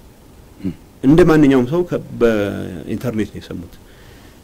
ስለዚህ ጀዳ ሲሄዱ በዛ በወቅቱ የአፍሪካ ህብረት ሊቀመንበር የነበሩት ፖል ካጋሜ እንግዲህ እንደ ምክትል ፕሬዚደንት ሆነ ኢትዮ ኤርትራን ለማስታረቅ ብዙ ጥረት አድርገዋል። ፖል ካጋሜ ያኔ የአፍሪካ ህብረት ሊቀመንበር ነበሩ እና ተጋብዘው ነበረ በሳውዲዎቹ ሳውዲዎቹ ጊዜ ርስታቸው ያው የአፍሪካ ህብረት ሊቀመንበር ለእንትኑም ቢሆን ለስነ ስርዓቱ ቢጠራ ብለው ለስነ ስርዓቱ ይጠራ ተብለው ተጋብዘው እሳቸው ራሳቸው ይሄ ነገር በዚህ ጉዳይ ላይ ውሳኔ ከመስጠት በፊት ልነጋገርበት የአፍሪካውያን እርቅ እንዴት ነው መካከለኛው ምስራቅ በጉዳዩ ላይ ቀጥታ ግንኙነት ጋር የለው ወገን እንትኑን የሚሰሙት እሳቸው እንደ መልካም ዜና ሳይሆን እንደ መርዶ ነው። በዚህ ጉዳይ ላይ ውሳኔ ከመስጠታቸው በፊት ፕሬዚደንት ኢሳያስ አልገኝም ስላሉ ምክንያቱም ሌላ ሰው እንዲገኝ አይፈልጉም። የፕሬዚደንት ኢሳያስ ፍላጎት ኢጋድን መፍረስ አለበት። አፍሪካ ህብረት አክብሮት የላቸውም። እነዚህን ተቋማት አይፈልጉም። ምክንያቱም ግንኙነት ቅድም እንዳልኩት personal ግንኙነት ነው መመስረት የሚፈልጉት። የአሜሪካ የኤርትራ መንግስት የሚያውቀው ነገር የለም። ዝርዝር ውስጥ ከገባን ፕሬዚደንት ኢሳያስ የሚያውቁት ነው። ስለዚህ በኢትዮጵያ ውስጥ ከኤርትራ በተለየ መልኩ ስንሰራው የነበረ ነገር ምንድን ነው? የሆኑ ውሳኔዎች ሲወሰን ጠቅላይ ሚኒስትር መለስ ወይ ጠቅላይ ሚኒስትር ኃይለማርያም የወሰኗቸው ውሳኔዎች ቢያንስ ተቋማዊ በሆነ ደረጃ የሚያልፉ ናቸው። በዛ ደረጃ ነው ቀጣይነትም ሊኖራቸው የሚችለው። ስለዚህ አዲስ ነገር ማስጀመር ስላለባቸው ጠቅላይ ሚኒስትር አብይን እንዳይገኙ ከለከሉ ማለት አልገኝም አሉ ማለት ነው። ስለዚህ በዛ ምክንያት ሳውዲዎቹ ፕሬዚደንት ፖል ካጋሜ እንዳይገኙ ድጋሚ ደብዳቤ ጻፉላቸው። ይሄ ኢትዮጵያ የአፍሪካ ህብረት የኃይለ ስላሴ እኮ አገር ነች። ኃይለ ስላሴ ብዙ የአድሃሪ ነገር ሊኖራቸው ይችላል። በአፍሪካ ህብረት ላይ ትልቅ ሚና ነበራቸው አይደለም እንዴ? መንግስቱ ኃይለማርያምም የራሱ ድርሻ ነበረው። በዚህ ደረጃ አፍሪካ አፍሪካን ወደ ጎን ትቶ አለኝ የሚለውን ስምምነት ሌላ ቦታ ያደረገ አፍሪካንም ለማስታወቅ ፈጽሞ ያልደፈረ መሪ መንግስት ተፈጥሯል ነው። ስለዚህ ለምንድን ነው ተሰሚ የነበረችው ኢትዮጵያ ሲባል የምታወራውን የምትሰብከውን የምትሰራ በተግባር የምታውል አገር መሆን ስለቻለች ነበር። ያ ማለት ሁሉም ነገር አልጋ ባልጋ ነበር ማለት አይደለም። ችግሮች ነበሩ። በሀገር ውስጥ ከተሰሩ ስራዎች ችግሮች አልነበሩም ማለት አይደለም። ዋናነት ግን የዲፕሎማሲ የተሰሚነት ምንጭ የሚባለው አገር ውስጥ የምንሰራቸው ስራዎች ከጎረቤቶቻችን ጋር የምንሰራቸው ስራዎች ከነ ብዙ ችግሮቻቸው ርዕሶች አይነሱም። በኬንያና በኢትዮጵያ ማለት አይደለም። unfortunately በኤርትራና በኢትዮጵያ መሀል እኮ ለረዥም ጊዜ የቆየ no war no peace situation ጦርነትም አላስፈላጊ የሚባል ጦርነትም አላስፈላጊ የምንለው መሆን አልነበረበትም በሚል ካልሆነ በስተቀር ከ aggression አንጻር መከላከል የነበረብን ጦርነት ነው፣ ተደርጓል። ስለዚህ ከዚህ አንጻር በየዓለም መድረክ ውስጥ ኢትዮጵያ የነበራት ተሰሚነት ይሄ ፖሊሲ ላይ ትኩረት ያደረገ ስራ ስለተሰራ ነው የነበረው።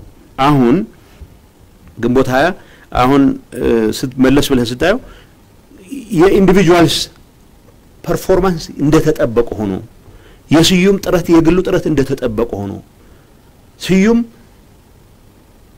ጠቅላይ ሚኒስትር መለስ ወይ ጠቅላይ ሚኒስትር ኃይለ ማርያም የሆነ ባሉት ቤተ ክርስቲያን ላይ በሰጡት ምክር ላይ ተመስርቶ ስራ እየሰራ ቢሆን ኖሮ የኢትዮጵያን ተሰሚነት ሊያረጋግጥ አይችልም። በሚታወቅ ሮድ ማፕ ላይ ተመሰረተ የኢትዮጵያን ጥቅም በደንብ በተነተነ ፖሊሲ ላይ ተመስርቶ ስራ ስለተሰራ ነው። ስለዚህ ይህን የዚህ የዚህ ውጤት ባለቤት ከምንም ነገር በላይ ይህንን ስርዓት ለመለወጥ የነበረው ያለፈውን ስርዓት ለመለወጥ በተደረገው እንቅስቃሴ ውስጥ በህገ መንግስት ላይ ተመስርተን አዲስ የተከልነው ስርዓት እነኝህን ነገሮች እንድናደርግ ስላስቻለ ነው በሚል መወሰድ መቻል አለበት። የኢትዮጵያ ተሰሚነት ምንጭ ፖሊሲዎቿን ተግባራዊ አድርጋ ጎረቤቶቿን በጎኗ አሰልፋ በአፍሪካ ደረጃም የአፍሪካ ድምጽ መሆን እንደምትችል በፖሊሲዎቿ ተግባራዊነትም በየመድረኩ በምታሳየው ጥብቅናም ቢሆን ማረጋገጥ የቻለች ስለነበረች ነው። ለአፍሪካውያን ወንድሞቻችን አክብሮት፣ ለጎረቤት አገሮቻችን አክብሮት እዛ ላይ ተመስርቶ ደግሞ ለጋራ ተጠቃሚነት የሚለፋ መንግስት ስለነበረ ነው። በነገራችን ላይ ያው ቀደም ሲል እናንተም እንደገለጻችሁት ነው። በተለይ በዲፕሎማሲው ረገድ አሁን የጠቀሳችኋቸው ነገሮች አሉ። ከራስ አልፎ ሌላ አካባቢ በተለይ ደግሞ በጎረቤት ሀገራት ላይ የነበረው ዲፕሎማሲያዊ ግንኙነት ምናልባት በዲፕሎማሲው ዘርፍ ተገኙ ለተባሉት ውጤቶች ሁሉ ትልቅ ማሳያ እንደሆኑ ተመልክተናል። ነገር ግን አሁን ላይ እነዚህ ቀደም ሲል የጠቀስ ናቸው የአፍሪካ መሪነት፣ የኢጋድ መሪነት እንዲሁም በጂ ትዌንቲ የነበረው ይህ ሁሉ አስተዋጽኦ አሁን እንዳልነበረ ሆኖ የት እንደገባ ሁሉ የሚናፈቅ ምናልባትም የየትና ጂ ትዌንቲን በዜና መልክ የምንመለከትበት ሁኔታዎችን እያየን ያለንበት ሁኔታ እሱ ብቻ አይደለም። የሌሎች ሀገራት ጣልቃ ገብነት በኢትዮጵያ ላይ አሁን በስፋት እየተንሰራፋ ያለበት ሁኔታዎች ምናልባትም ቀደም ሲል አቶ ጌታቸው እንደገለጹት ለ benchmark ማንጠቀም benchmark ማንጠቀምባቸው ሀገራት እንደ ቤንችማርክ እየወሰድንባቸው ያሉበት ሁኔታዎች አሉ። ኤርትራን ማሳያ ስላልና ይሄ ከምን ምንጭ ነው? ለምንድን ነው የቀደመው የዲፕሎማሲ ስኬት አሁን ላይ መደገም ያልተቻለበት ምክንያት? በተለይ ባለፉት ሁለት ዓመታት ያለው ነገር ነው። በአካባቢው ኢሚዲየት አካባቢው ተቀባይነት ያላገኘ ሀገር ሩቅ ሄዶ ውጤት ያለው ስራ ሊሰራ አይችልም። ተቀባይነትም ሊያገኝ አይችልም። መሰረቱ መጀመሪያ ሀገሩ፣ ሁለተኛ በአካባቢው።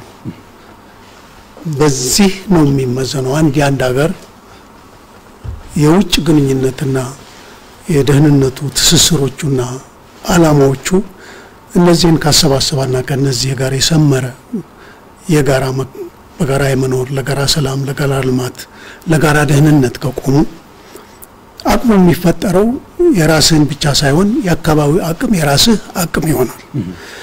አንድ አብነት ላንሳ። ኢትዮጵያ እስከ ቅርብ ጊዜ የሰላም አስከባሪ ተልእኮ በማሰማራት በዓለም ደረጃ የመጀመሪያዋ ናት። አሁን ትልቁ ደረጃ የያዘች በቀዳሚነት የያዘች ሀገር ናት። እስካሁን አለ እሷ የለም አላቅም። ቢያንስ ግን ከግንቦት ሀያ ድል እስከ አለፉት ሁለት ዓመታት በፊት ኢትዮጵያ በመጀመሪያ ትልቅ የሰላም አስከባሪ ኃይል ያሰማራች ሀገር ናት። ድሮ በነ ህንዶች፣ በነ ፓኪስታን፣ በነ ባንግላዴሽ፣ ከአፍሪቃ እነ ጋና፣ እነ ናይጄሪያ፣ እነ ኬንያ ነበር የሚታወቁበት። ቦስኒያ ሄርዚጎቪና ሰላም አስከባሪ እንድንልክ ተጠይቀን ነበር፣ አልሄድንም። ኢራቅ እንድንሄድ ተጠይቀን ነበር እንድንልክ ሰላም አስከባሪ ኃይል፣ አልሄድንም። አፍጋኒስታን እንድንልክ ተጠይቀን ነበር፣ አላክንም። ለምን? የጥንቷ ኢትዮጵያ ኮሪያ ድረስ ሄዳለች። ምንድን ነው የመራቸው? ጌታቸው አስቀምጧል። road አለው። የኢትዮጵያ foreign policy ወይ የውጭ ግንኙነትና የደህንነት ፖሊሲና ስትራቴጂ road map አለው። እዩኝ እዩኝ ለማለት አይደለም እንሄደው። እዛ አካባቢ የበለጠ ሚና ሊጫወቱ የሚችሉ ሌሎች አሉ። እኛ መጀመሪያ የራሳችን የሀገራችንን ህልውናና እድገት፣ ቀጥሎ የአካባቢያችን አህጉራችን ሁሉም የኢትዮጵያ የሰላም ተልእኮዎች ሶማሊያ ነው፣ ደቡብ ሱዳን ነው፣ ሱዳን ነው፣ ቡሩንዲ ነው፣ ሩዋንዳ ነው፣ ላይቤሪያ ነው። ከአፍሪካ ውጭ አንልክም ነው ያልናቸው። የአፍሪካ ሰላም የራሳችን ሰላም ነው። የአህጉሪቷ ሰላም የሁሉም አባል ሀገራት የሁሉም ህዝቦች ሰላም ነው፣ የኢትዮጵያም ጭምር። የአፍሪካ እድገት የሁላችንም እድገት ነው። የላይቤሪያ ከጦርነት መውጣት የሁሉም አፍሪካዊ ድል ነው። ለዚህ ነው የምንሰለፈው። የሮድ ማፕ ነው የመራው በአፍሪካ ኢትዮጵያ ተቀባይነት አገኘች ሲባል በሰላም ማስከበሩና በገነባቸው የመከላከያ ኃይል፣ የፖሊስ ኃይል፣ practitioner diplomats እነዚህን ያሰማራቻቸው ሄደው የት ነው ሚና የተጫወቱት የሚለው ይሄ ነው በአፍሪካ አንዱ ድል ያስገኘላት። ሁለተኛ ቅድምም ተጠቅሷል። ለምንድን ነው የ climate የአየር መዛባትን የዓለም ትልቅ ርብርቦሽና ትንንቅ የታየበት በበለጸጉትና በመልማት ላይ ባሉት ሀገሮች በሁሉም አካባቢ ትልቅ ጦርነት የዲፕሎማቲክ ጦርነት የተካሄደበት ለምንድን ነው ኢትዮጵያ የመራችው? ለምንድን ነው ጠቅላይ ሚኒስትር የመሩት? በግል ችሎታ የጠቅላይ ሚኒስትርን ያህል አቅም ያለው ሌላ መሪ አልነበረም። ለመለስ እንደዛ አይነት ብቃትም መሰረት የሆነው የግንቦት ሀያ የመሰረተው ግንቦት ሀያን ለማምጣት ቀደም ብሎ የተመሰረቱት አቅጣጫዎች ሮድ ማፕስ አሉት አሉ። እነሱ ናቸው ኢትዮጵያ ይህን የአየር መዛባት በምንድን ነው ልንቋቋመው የምንችለው? የአረንጓዴ ልማት ስትራቴጂ ከማንም አፍሪካ ሀገር ቀድማ የራሷን ሮድ ማፕ ያስቀመጠች ኢትዮጵያ ናት። መቼ ነው ዜሮ ካርቦን የምንሆነው? መቼ ነው በምንድን ነው አየርን የማይበክል የካርቦን ልቀትን የሚቀንስ ምንድን ነው መጠቀም ያለብን? የኤሌክትሪክ ኃይል፣ የትራንስፖርታችን አገሪቱን መልሶ በደን ለመሸፈን ምን ማድረግ አለብን? ልማቱን ለማቀላጠፍ ህዝባችንን በሙሉ በዚሁ ማሰለፍ ያለብን እንዴት ነው ልማታችንን በዚሁ መሄድ ያለብን የሚል ቀርጻ አጋሮቿ ጋር ሆና በጋራ ተወያይታ ተቀብለውት ሁላችንም አስተዋጽኦ እናደርግበታለን። ይሄ የኢትዮጵያ እድገት ፈር ቀዳጅ ነው፣ ትክክለኛ ነው ብሎ የተቀበሉት በዚሁ ነው። የኢትዮጵያ practitioners እዚህ ያሉ መቀሌ ያሉ ዶክተር ተወልደ ብርሃን ገብረ እግዚአብሔር South Africa ለመበተን ትንሽ ቀርቶት የኢትዮጵያ practitioners የኢትዮጵያ ሳይንቲስቶች ሳይቀሩ ጎልተው የወጡበት እና የአፍሪካን አቋም ይዘው የሞገቱበት ነው። ይሄ ነው ለኢትዮጵያ ለአፍሪካ spokesperson እንድትሆን የአፍሪካን አህጉር ወክላ በዓለም መድረኮች ተዋናይ እንድትሆን ያደረጓት እንደዚህ አይነቶቹ ናቸው። በፍላጎት በምኞት ብቻ ሳይሆን በተግባር እየሰራች ባሳየቻቸው በሀገሪቱ ውስጥ የገነባቸውን ተቋምና የያዘቻቸውን አቅጣጫዎች የልማትና የህብረተሰብ ግንባታ የሀገር ግንባታ በአህጉሪቱና በአካባቢዋ መስራት የተጀመሩት ከዚህ አልፎ ከሁሉም የኢትዮጵያ ጠላት ማን ነው? በዚህ ወቅት የውጭ ግንኙነትና የደህንነት ፖሊሲና ስትራቴጂያችን ያስቀምጠው ትልቅ የማዕዘን ድንጋይ አለ። የኢትዮጵያ ጠላት ማን ነው? ኢትዮጵያ ጠላት ድህነት ነው። ድህነት ጋር ጦርነት ገጥመናል። በጥርስም በጥፍርም እንደሚባለው ሌላ እንኳ ባይኖረን በጥፍርም በጥርስም ነክሰን ያንን ጦርነት ማሸነፍ አለብን ብለን ተነስተናል። ትልቁ በገንዘብ በቢሊዮኖች ገንዘብ የማይገዛ የግንቦት ሀያ መስመርና የህዝብ እይታ አመለካከት ስነ አእምሮ የቀየረ ሌሎች በቢሊዮኖች የማይገዙት እኛም በቢሊዮኖች ልንገዛው የማንችል የትም ማዕዘን የኢትዮጵያ ገጠርም ከብቶች እየነዳ የከብቶችን ጭራ ተከትሎ የሚሄድ ሳይቀር በከተሞች ቀርቶ ጠላትህ ማን ነው ሲባል ድህነት ነው። እንዴት ነው የምትዋጋው? ሰርተን። እንደዚህ አይነት ብሔራዊ መግባባት የፈጠረ አገር ነበረ ወይ? የለም። ይሄ ነው የተቀማ ነው የጣል ነው ይሄ ነው። አሁን እንኳንስ በየ አቅጣጫው ያለው በሩቅ በየገጠሩ ያለው ቀርቶ መሀል አዲስ አበባም ያለው ምንድን ነው priority ተብሎ priority ቅድሚያ የምሰጠው ይሄ ነው የሚል የለም። ሁሉም ድብልቅልቁ ወጥቷል። ቤተ መንግስትን ማሳመር ነው ቅድሚያው። የእዩኝ እዩኝ ጠቅላይ ሚኒስትራችን ኮሪያንና ደቡብ ኮሪያንና ጃፓንን ላስታርቃችሁ ነው አሏቸው።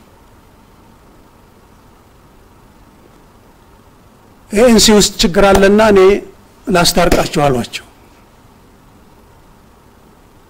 ማስታረቅ ጥሩ ነው። የትም ሄዶ ማስታረቅ፣ ሰላም መፈለግ ጥሩ ነው። ምንድን ነው የጠቅላይ ሚኒስትሩና የኢትዮጵያ leverage ቻይና ማን ነው ደቡብ ኮሪያንና ጃፓንን ለማስታረቅ ምን አለኝ ብሎ ራስን መመዘን ይጠይቃል። ደቡብ አፍሪካ የተኪዶ ANC ውስጥ ፓርቲ ውስጥ ችግር ስላለ እኔ ላስታርቅ ሲል እዛው ካሉት ከዚምባብዌ፣ ከቦትስዋና፣ ከሞዛምቢክ፣ ከ SADC ሀገሮች የተሻለ leverage ምን አለኝ ብሎ ያያሉ። ሶማሊያ ላይ ቢሞክሮ ጥሩ ይመለከተናል፣ የቅርብ ነው። ምንድን ነው road map ኣችን? ምን ለማግኘት ነው የምንሄደው? ግንኙነቱ ከውጭ የምናደርጋቸው ግንኙነቶች ምንድን ናቸው? አላማ መኖር አለ። የተቀመጡ ግቦች መኖር አለባቸው። እነዚህ ግቦች የለውም። ኢትዮጵያን credible state የምትከበር ቅቡልነት ያላት በዓለም ህብረተሰብ መሀል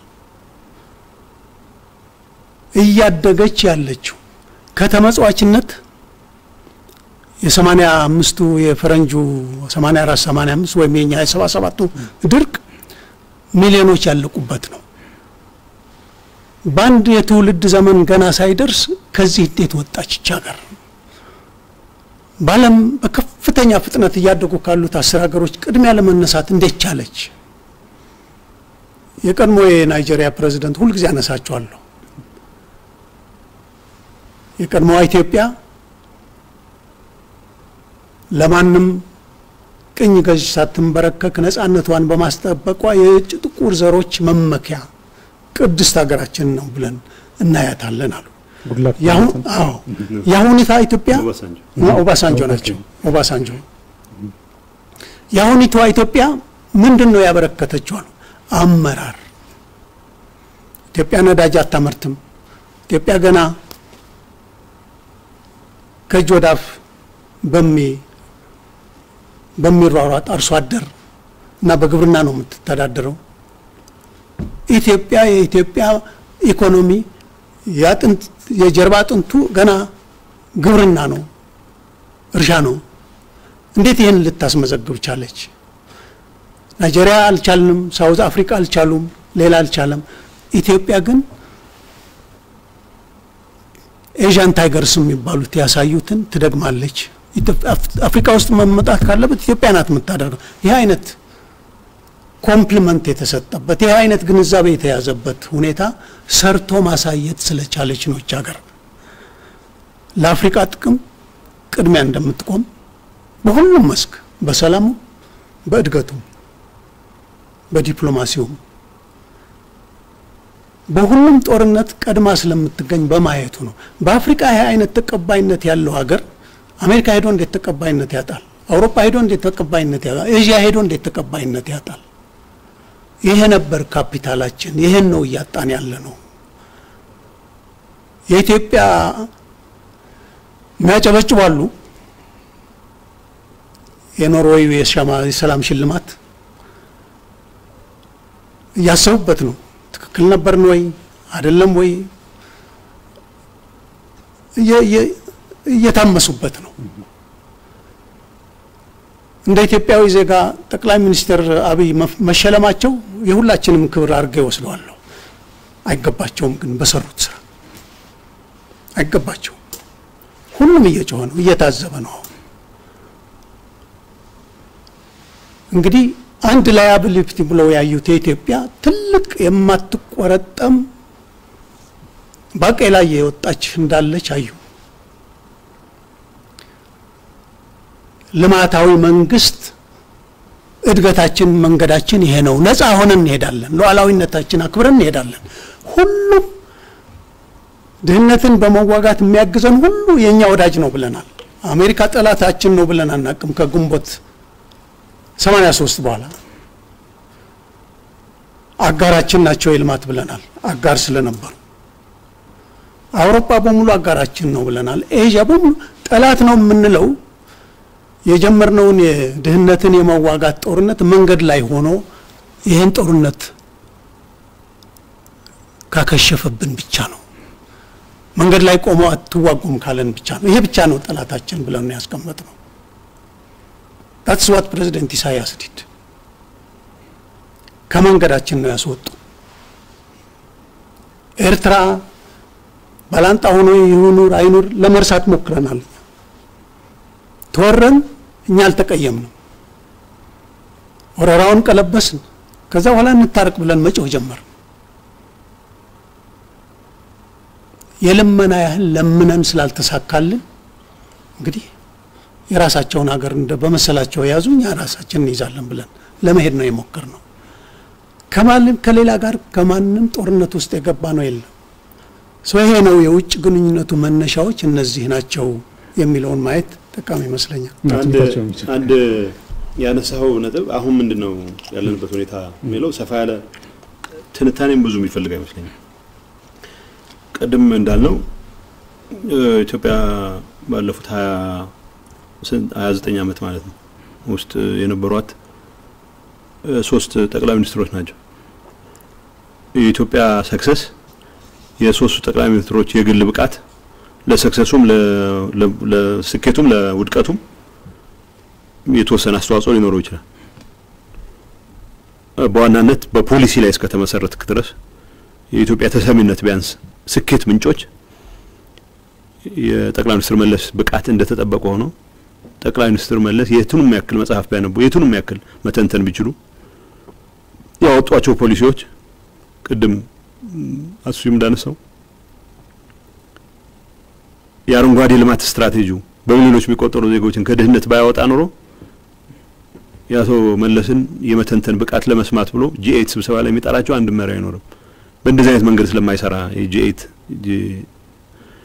G8 G ሰባት ጠቅላይ ሚኒስትር ኃይለ ማርያም ጋር ሄጄ አውቃለሁ። የ G ሰባት ማለት ኢትዮጵያ ምን ሀሳብ አላት እየተባለ የአፍሪካ ህብረት ሊቀመንበር አልነበሩ። ከኢትዮጵያ ከነዚህ ፖሊሲ ከሚቀዳው success ነው ጠቅላይ ሚኒስትሩ የሚከበረው። አሁን ባለው ሁኔታ የሚገባኝ አንደኛ roadmap የለም። በምን እንደምንመራ የሚታወቅ ነገር የለም። መደመር የሚባል ጨዋታ አለ። መደመር ስለ ውጭ ጉዳይ ፖሊሲም ስለምንም ያወራቸው ወሬዎች ለእኔ ጨዋታ ናቸው። ዝም ብሎ እንደ አንድ ስልጣን ላይ ያለ ሰው መጽሐፍ ጽፏል ተብሎ መነሳቱ ቅድም ልክ እንደ ኖቤል ሽልማት ጥሩ ነው ልትል ትችላለህ። ግን ምን ቁም ነገር ነው? የኢትዮጵያ በሰላምና በደህንነት የሚሰሩ ሚኒስቴር መስሪያ ቤቶች አሉ። የውጭ ጉዳይ ሚኒስቴር፣ የሀገር ውስጥ ምንድን ነው የብሔራዊ መረጃና ደህንነት፣ ፖሊስ፣ መከላከያ እነኚህም በተቀናጀ መልኩ ለማሰራት የሚያስችል white paper ተጽፎም ከሆነ እኔ ትልቅ ነገር ነው የሚሆነው። እንደዛ የሚባል ግን የለም አሁን። ምክንያቱም የኢትዮጵያን አጠቃላይ የደህንነት concerns ጥሩ synergy ፈጥረህ ነው እንትን የምትለው። so መደመር በዚህ መልኩም እንኳን ሊቀርብ የሚችል ነገር አይደለም። አንደኛ መደመር የሚባለውም ሀሳብ የልማታዊ ዴሞክራሲያዊ አስተሳሰብ ግንቦት ሀያ ያመጣልን ድሎች ብለን እንደ መነሻ ያልናቸው መስመሮች፣ አስተሳሰቦችን negate ከማድረግ ነው የሚጀምረው። እነሱን ለመቃወም የሚያስችል ምንም አይነት substance ሳይኖርህ እነሱን በመቃወም ነው የሚጀምረው። ለምሳሌ ጠላት የሚባል አያስፈልግም። ወዳጆች አንድ የሚያነሱት ከውጭ ጉዳይ እንትን አንጻር የድሮ የውጭ ጉዳይ የውጭ ጉዳይ ግንኙነትና ብሔራዊ ደህንነት ፖሊሲና ስትራቴጂ አገሮችን ይጠቅሳል ይላል። እዛ ውስጥ አገሮችን የሚጠቅሰው ከኢትዮጵያ ጋር ሬሌቫንስ ካለው ድረስ እነኚህ እነኚህ ሀገሮች ጋር ያለን ግንኙነት መመሰል አለበት። እንደ ማሳያ የሚያመጣቸው ሀገሮች አሉ። ቅድም አምባሳደርም እንዳነሳው እገሌ ጠላቴ ነው የሚል የለም። የልማት አጋሮቻችን ነው የሚለው። የልማት አጋሮቻችን ድህነትን ለመታገል በምናደርገው እንቅስቃሴ ውስጥ አስር ግራምም መቶ ግራምም የሚያዋጡ እስከሆኑ ድረስ እሱ እንጠቀማለን፣ አሟጠን እንጠቀማለን። ግን ሉዓላዊነታችንን አስይዘን አይደለም። ኢህአዴግ የመራው ጠቅላይ ሚኒስትር መለስ የመራው መንግስት እርዳታ ለመቀበል ሲባል እጅ የሚጠመዘዝበትን እድል ፈቅዶ አያውቅም። እርዳታችሁ መቅረት ይችላል። ይህን እኔ የምለው አይደለም፣ ማንም የሚመሰክረው ነው። world class ሰዎች no የሚያምኑበትን ይሰራሉ፣ የማያምኑበትን አያደርጉም ብሎ ነው የሚመሰክሩ። ምክንያቱም የአቶ መለስ ስራ በዋናነት ድፍረታቸው የሚመነጨው clear ካረጉት ወረቀት ነው፣ define ካረጉት ጠላት ነው። ድህነትን ለመዋጋት እስከጠቀመኝ ድረስ ይሄንን ቀጫጫ ገበሬ በህሊና አማክራለሁ አሉ። እንደዚህ አይነት ነገር ሲገጥመኝ አንድ ቀጫጫ ገበሬ እንደዚህ አይነት ችግር ሲገጥመው እንደዚህ አይነት injustice ሲገጥመው ምን ይመልሳል ብዬ እዛ ነው መልሱን የማገኘው ነው የሚሉት እሳቸው። so የእነዚህን ቀጫጫ ገበሬዎች ህይወት ለመታደግ የተቀረጹ ፖሊሲዎች ናቸው አካሄድህን የሚወስኑት። የውጭ ጉዳይ ፖሊሲያችንም ከነዚህ አስተሳሰቦች የሚመነጭ ነው የነበረው። ከዩናይትድ አረብ ኤምሬትስ ጋር ያለን ወዳጅነት ትርጉም የሚኖረው የእነዚህን ቀጫጫ ገበሬዎች ህይወት የእነዚህ አዳፋ ልብስ የለበሱ እናቶች ህይወት ከመቀየር አንጻር ብቻ ነው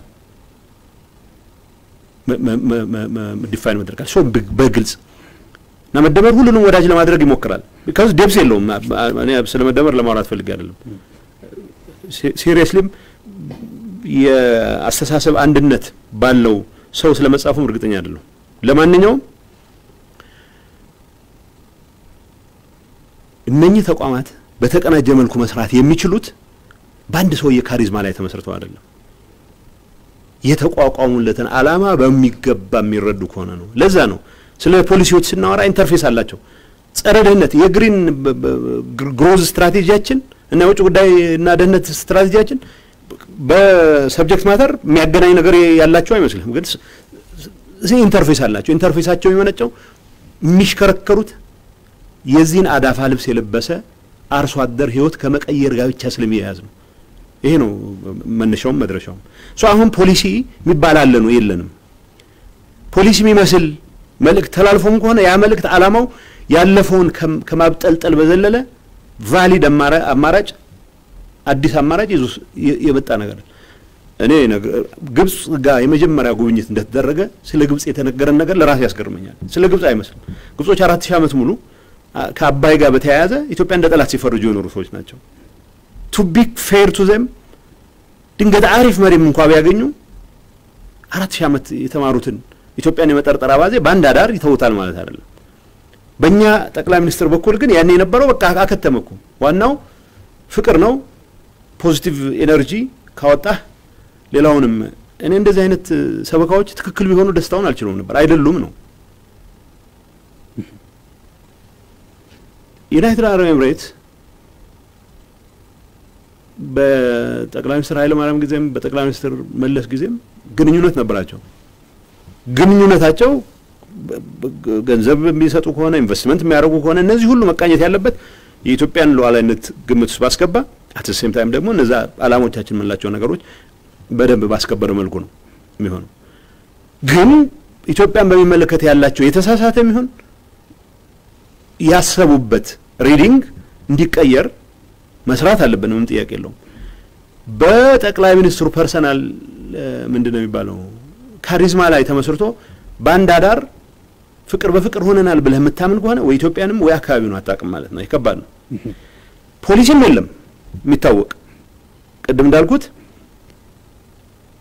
አቶ መለስ personal ብቃት ላይ ብቻ እንደማይመሰረት የምታውቀው ጠቅላይ ሚኒስትር መለስ ጠቅላይ ሚኒስትር ኃይለማርያም ስልጣን ላይ እንደወጡ G seven እና G eight አሁንም እንጠራ ነበረ የአፍሪካ ህብረት ሊቀመንበሮች ሳንሆን ያ ፖሊሲ ቀጣይነት ስለነበረው so ያ የሚያስረዳ እኔ አስታውሳለሁ G eight two thousand sixteen ሰኔ አንድ ቀን ስብሰባ ነበረ። በአጋጣሚ እኔ ከሳቸው ጋር የገቡት በጸጥታና በ green እንትን ጉዳይ የ G7 መሪዎች አሉ። ያኔ Russia እንድትወጣ ተደርጓል። G7 ተብሎ ከዚያ ሁሉ መሪዎች መሀል የኢትዮጵያ መሪ ፕሬዚደንት ኦባማ ናቸው chair የሚያደርጉት ፕሬዚደንት ኦባማና አንጌላ መርኬል የኢትዮጵያ መሪ በሁለቱ ጉዳዮች ላይ ሰፋ ያለ ማብራሪያ እንዲሰጡናል ማለት we're caught off guard ተዘጋጅተናል። ይነስ ይብዛል በዛን ሰዓት የኛ ያን የነበሩት ጠቅላይ ሚኒስትር አይ ምን እንደምል ግራ ገባኝ ሊሉ አይችሉም። already ፖሊሲ አለ፣ practice አለ የሚባል ነገር አይጠፋም። እዛ መድረኮች ላይ የምንጠራ የነበረው በተግባር ማሳየት የሚያስችለን ፖሊሲ ቀርጸን ተግባራዊ ማድረግ ስለቻለን ነው። ያ አንድ ነገር ነው። አሁን ፖሊሲውም የለም።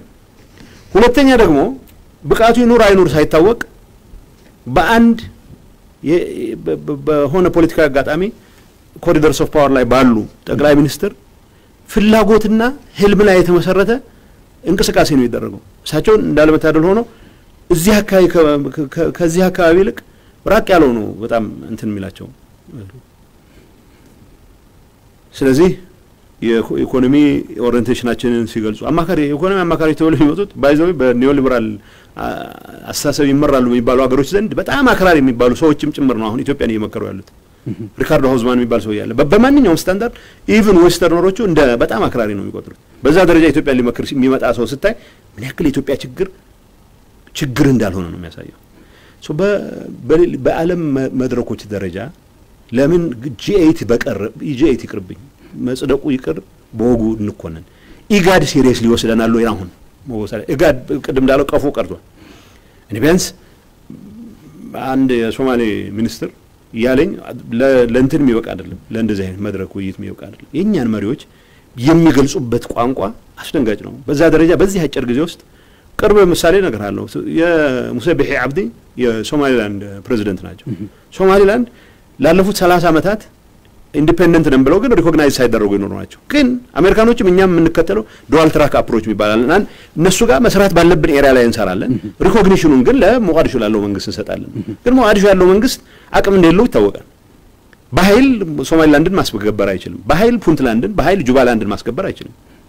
ስለዚህ እኛ እንደ ሀገር ቅድም አምባሳደር እንዳነሳው ጠቅላይ ሚኒስትር አብይ serious ቢሆኑ ፋርማጆ ወዳጄ ናቸው ይላሉ። ፋርማጆ በኃይል አንድን አካባቢ በኃይል ለማስገበር ኃይል ሊኖር ይገባል።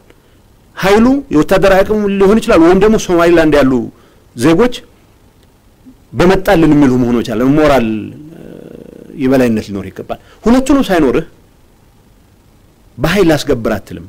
ጁባላንድም እንደዚሁ የነበረው ፌዴራል ስርዓት የተቋቋመው incipient ፌዴራል ስርዓት የሶማሊያን እውነታ ያገናዘበ ነው የነበረው በሶማሊያ ውስጥ ጠቅላይ ሚኒስትር አብይ ኖ ከሞቃዲሾ ነው ሁሉም መመራት ያለበት የሚል ከፕሬዚደንት ኢሳያስ ቅድም ያልከው ከፕሬዚደንት ኢሳያስ መማር ካለብህ ምንም ነገር አለመማርን ነው የሚሆነው እንጂ በፍጹም በዚህ ጉዳይ ከፕሬዚደንት ኢሳያስ የምትማረው ነገር አይኖርም። ብዙ ትምህርት እየተወሰደ እንዳለ ግን ማየት ይቻላል። ምንም እሱ ያሳዝናል።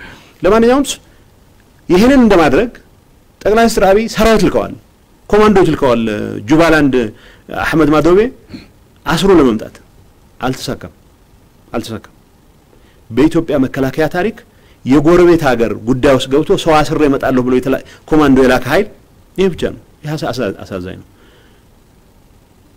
ፋርማጆ የሶማሊያው ፕሬዚደንት ፍቅር አይደለም የሚሰጡ ዝም ብሎ ያው አራዶች ለፉገራ ወንድሜ ሊልሁ ይችላሉ። በእንደዚህ አይነቱ ባልመሰለ መንገድ ሙሴ ቢሒ አብዲ ሰላሳ ዓመት ነጻ ነኝ የምትል ሀገር እየመራ ከሞቃዲሾ ጋይዞ ታሪክ አለ። በሲያድ ባሬ መንግስት ሶማሌላንድ ላይ የተደረገ ጭፍጨፋ አስደንጋጭ ነው። ገና ገና አልወጣላቸውም። ምክንያቱም እንደ ጎሳ እንትን አድርገውናል ብለው ነው የሚያስቡት። በእነሱ understanding ያኔ የነበረው የመርሃን የዱልባሓንተ group እኛ ላይ ሰሜን ሶማሊላንድ ማነው northern area ላይ ያለው ሶማሊላንድ ላይ ያለውን ጎሳ ለማጥፋት ያደረገው ነው ብሎ የሚሉ ስለሆኑ በጣም ትልቅ ነገር ነው ያለው። አሁን ዝም ብለህ አንስተህ ጠቅላይ ሚኒስትር አብይ ልክ ሌላ ቦታ ላይ አድርገዋሉ እንደሚሉት ፋርማጆንና ሙሴ ቢሂ አብዲን surprise ሊያደርጉ ሊያሳስሟቸው እቅድ ነበራቸው። ኃይለኛ ጩኸት ነው የተፈጠረው በምስራቅ አፍሪካ ውስጥ። ይህ ሰው የምነካው ነው። ፈረንጆቹ kumbaya ዲፕሎማሲ የሚሉት አለ። kumbaya ማለት በቃ cheers cheers ተባብለህ በቃ በወይን ዙሪያ እስኪ ችግራችን እንፍታው የምትለው ነገር። እነኚህ ነገሮች complex ጉዳዮች ናቸው። complexity ውን የሚመጥን ትኩረት ሰጥተህ ነው ይሄንን ለመስጠት በመጀመሪያ ደረጃ ቅድም እንዳልኩ ነው ፖሊሲው መጀመሪያ ተፍረስረስ መኖር አለበት። ፖሊሲውን ለማስፈጸም ኃላፊነት የተሰጣቸው ተቋማት የ national security institutions የሚባሉት የውጭ ጉዳይ ሚኒስቴር ቀዳሚው ነው። ብሔራዊ ደህንነት፣ መከላከያ፣ እነኚህ መናበብ መቻል አለባቸው። ይህን ለማናበብ የሚያስችል ወረቀት ባላስቀመጥክበት፣ ይህን አሰራር ባላዘረጋበት ምክንያት ውጭ ጉዳይም የራሱን መንገድ ይሄዳል። ቅድም እንደተባለው ጠቅላይ ሚኒስትሩ ዲፕሎማቶች ሰብስበው ኮሪያና እንትናን አስታርቃለሁ ብለዋል። ይህ አሁን ቀልድ ነው ይመስለው ግን ኖቤልም ከዛ በኋላ ስለተሸለሙ maybe የገመቱበት ምክንያት ሊኖር ይችላል። ግን አምባሳደር ስዩም እንዳለው እንትናንና እንትናን ማስታረቅ ነው ዋናው ትኩረት ወይስ በ local ደረጃ? ምክንያቱም ክብራችን የሚመነጨው አገር ውስጥ ማረጋጋት ከመቻላችን ነው። የኢትዮጵያ መከላከያ ሰራዊት አሁን ባለው ቁመና አሁን ባለው ቁመና የሚሊሻ ስራ እየሰራ በየሰፈሩ ኮማንድ ፖስት እየተባለ የሚሊሻ ስራ እንዲሰራ እየተደረገ ይሄ ድንበር እንዲያስጠብቅ በዓለም አቀፍ ደረጃ exemplar የሚባል ኃላፊነት የተወጣ ተቋም አሁን ወደ ሚሊሻነት የወረደበት ሁኔታ አለ። በትንሽ በትልቁ ግጭት ውስጥ እንዲገባ እየተደረገ የትኛው ቦታ ነው የኢትዮጵያ ሰራዊት አሁን የሰላም አስጠባቂ ላክልኝ ብሎ ሊጠይቅ የሚችለው? ምክንያቱም በሀገር ውስጥ ደረጃ ያለን እንደ ተቋም ያለን ተቀባይነት አደጋ ላይ በጣልክበት ሁኔታ በምንም ስሌት ምክንያቱም ባለቤት ካቀለለው አሞሌ ባለዕዳ አይቀበለው ነው የሚባለው። በዛ ደረጃ ነው ሰው ለምንድን ነው ተሰሚነት ያላገኘ ነው? የጂ ኤይት እና የ G20 ይቅርብን። የጂ ትዌንቲ ጠቅላይ ሚኒስትር አብይ ጽፈው ነበረ ደብዳቤ። ብዙ ሰው ግራ የሚያጋባ ነው ማለት መጽሐፍ ጥሩ ነው፣ መልካም በዓል፣ መልካም ስብሰባ ምናምን ብለህ ግን አጀንዳ ያለው ሰው ነው እንደዛ የሚያደርገው እና ያቀረቡት ጥያቄ ነበረ። ጥያቄው ማቅረባቸውን ኃጢአት ነው ብዬ አላምንም፣ ግን speaks volumes ምን ያለንበትን ደረጃ እሳቸው መቶ ሀምሳ ቢሊዮን በኮቪድ ምክንያት እዳ ቀንሱልን ወስዱ። አሁን ይሄ የአፍሪካ ኢኮኖሚ ኮሚሽን ጽህፈት ቤትን consult አላደረጉም። ቢያንስ የአፍሪካ ህብረት ሊቀመንበር አሁን የሳውዝ አፍሪካው ፕሬዚደንት ናቸው። ሳውዝ አፍሪካ ፕሬዚደንት ደግሞ ትልቅ ሀገር ብሪክስ ውስጥ አባል የሆነች ሀገር መራለሁ የሚል ሰው ናቸው። ጉዳዩ እሳቸው ነው መሆን ያለበት። በዚህ ደረጃ ቢያንስ እንኳ አፍሪካ ወንድሞቻችን በቀላሉ consult በማድረግ ልትዘለው የምትችለውን diplomatic backlash በእንደዚህ አይነት ችኩልነት ነው የሚባለው መግለጹ በጣም ከባድ ነው። በመርህም በምንም ላይ የተመሰረተ ስራ የማይደረግ ግን ደግሞ ይኑር አይኑር በማይታወቅ ብቃት በ personal charisma ላይ ተመስርተህ personal charisma ኢትዮጵያውያንን ሊያማልል ይችላል፣ የተወሰኑ ወጣት ኢትዮጵያውያን ግን በተግባር ካልተረጋገጠ ኢትዮጵያውያኑም አሁን እያሳዩ እንዳሉት ይሄ ድራማ አይቆምም እንዴ ማለት ጀምረዋል። ነጮቹ ቅድም እንደተባለው ከጂኦፖለቲካዊ ጥቅም አንጻር የሚፈልጉህ ነገር ሊኖር ይችላል። ግን ዝም ብሎ personality ህ እንደ በቃ በመኖሩ ያደምቃል ተብለህ ልትጠራ አትችልም። የምታሳየው ለመድረኩ የሚመጥን የፖሊሲ ሀሳብ ልታመነጭ የምትችልበት እድል መኖር መቻል አለበት። ያ የለም ነው። ያ በሌለበት ሁኔታ ጠቅላይ ሚኒስትር አብይ ኢትዮጵያን ወክለው የሚጠሩበት ምክንያት የለም። ኢትዮጵያ ድሮም የተወከለችው ነጮቹ በእነዚህ መድረኮች ላይ በሚያነሷቸው አጀንዳዎች ዙሪያ ፖሊሲ ቀርጻ ተግባራዊ አርጋ ለውጥ ማሳየት መቻሏን ማረጋገጥ ስለተቻለ ነው። ያን ባላረክበት ሁኔታ ምንም ተቀባይነት ተሰሚነት ይባላል። የሚያሳዝነው ግን የተሰሚነትና የተቀባይነት ተቃራኒ እየገጠመን መሆኑ ነው። በሪጅኑ ሳይቀር በሪጅኑ በዚህ ሪጅኑ ሳይቀር የምናደርጋቸው በጣም አማቸርሽ የሆኑ እንቅስቃሴዎች የብዙ ጎረቤቶቻችንንም ምንድን ነው ጸጉር እያስቆሙ መሆኑ ነው የሚያሳስበኝ እንጂ ተሰሚነትማ ያው እንደ ጽድቅ ነው። ጽድቁ ይቅር በወጉ እንኮንን። ጥሩ ምናልባት ከዚህ ጋር ተያይዞ እንድናየው የፈለግኩት በዲፕሎማሲው ረገድ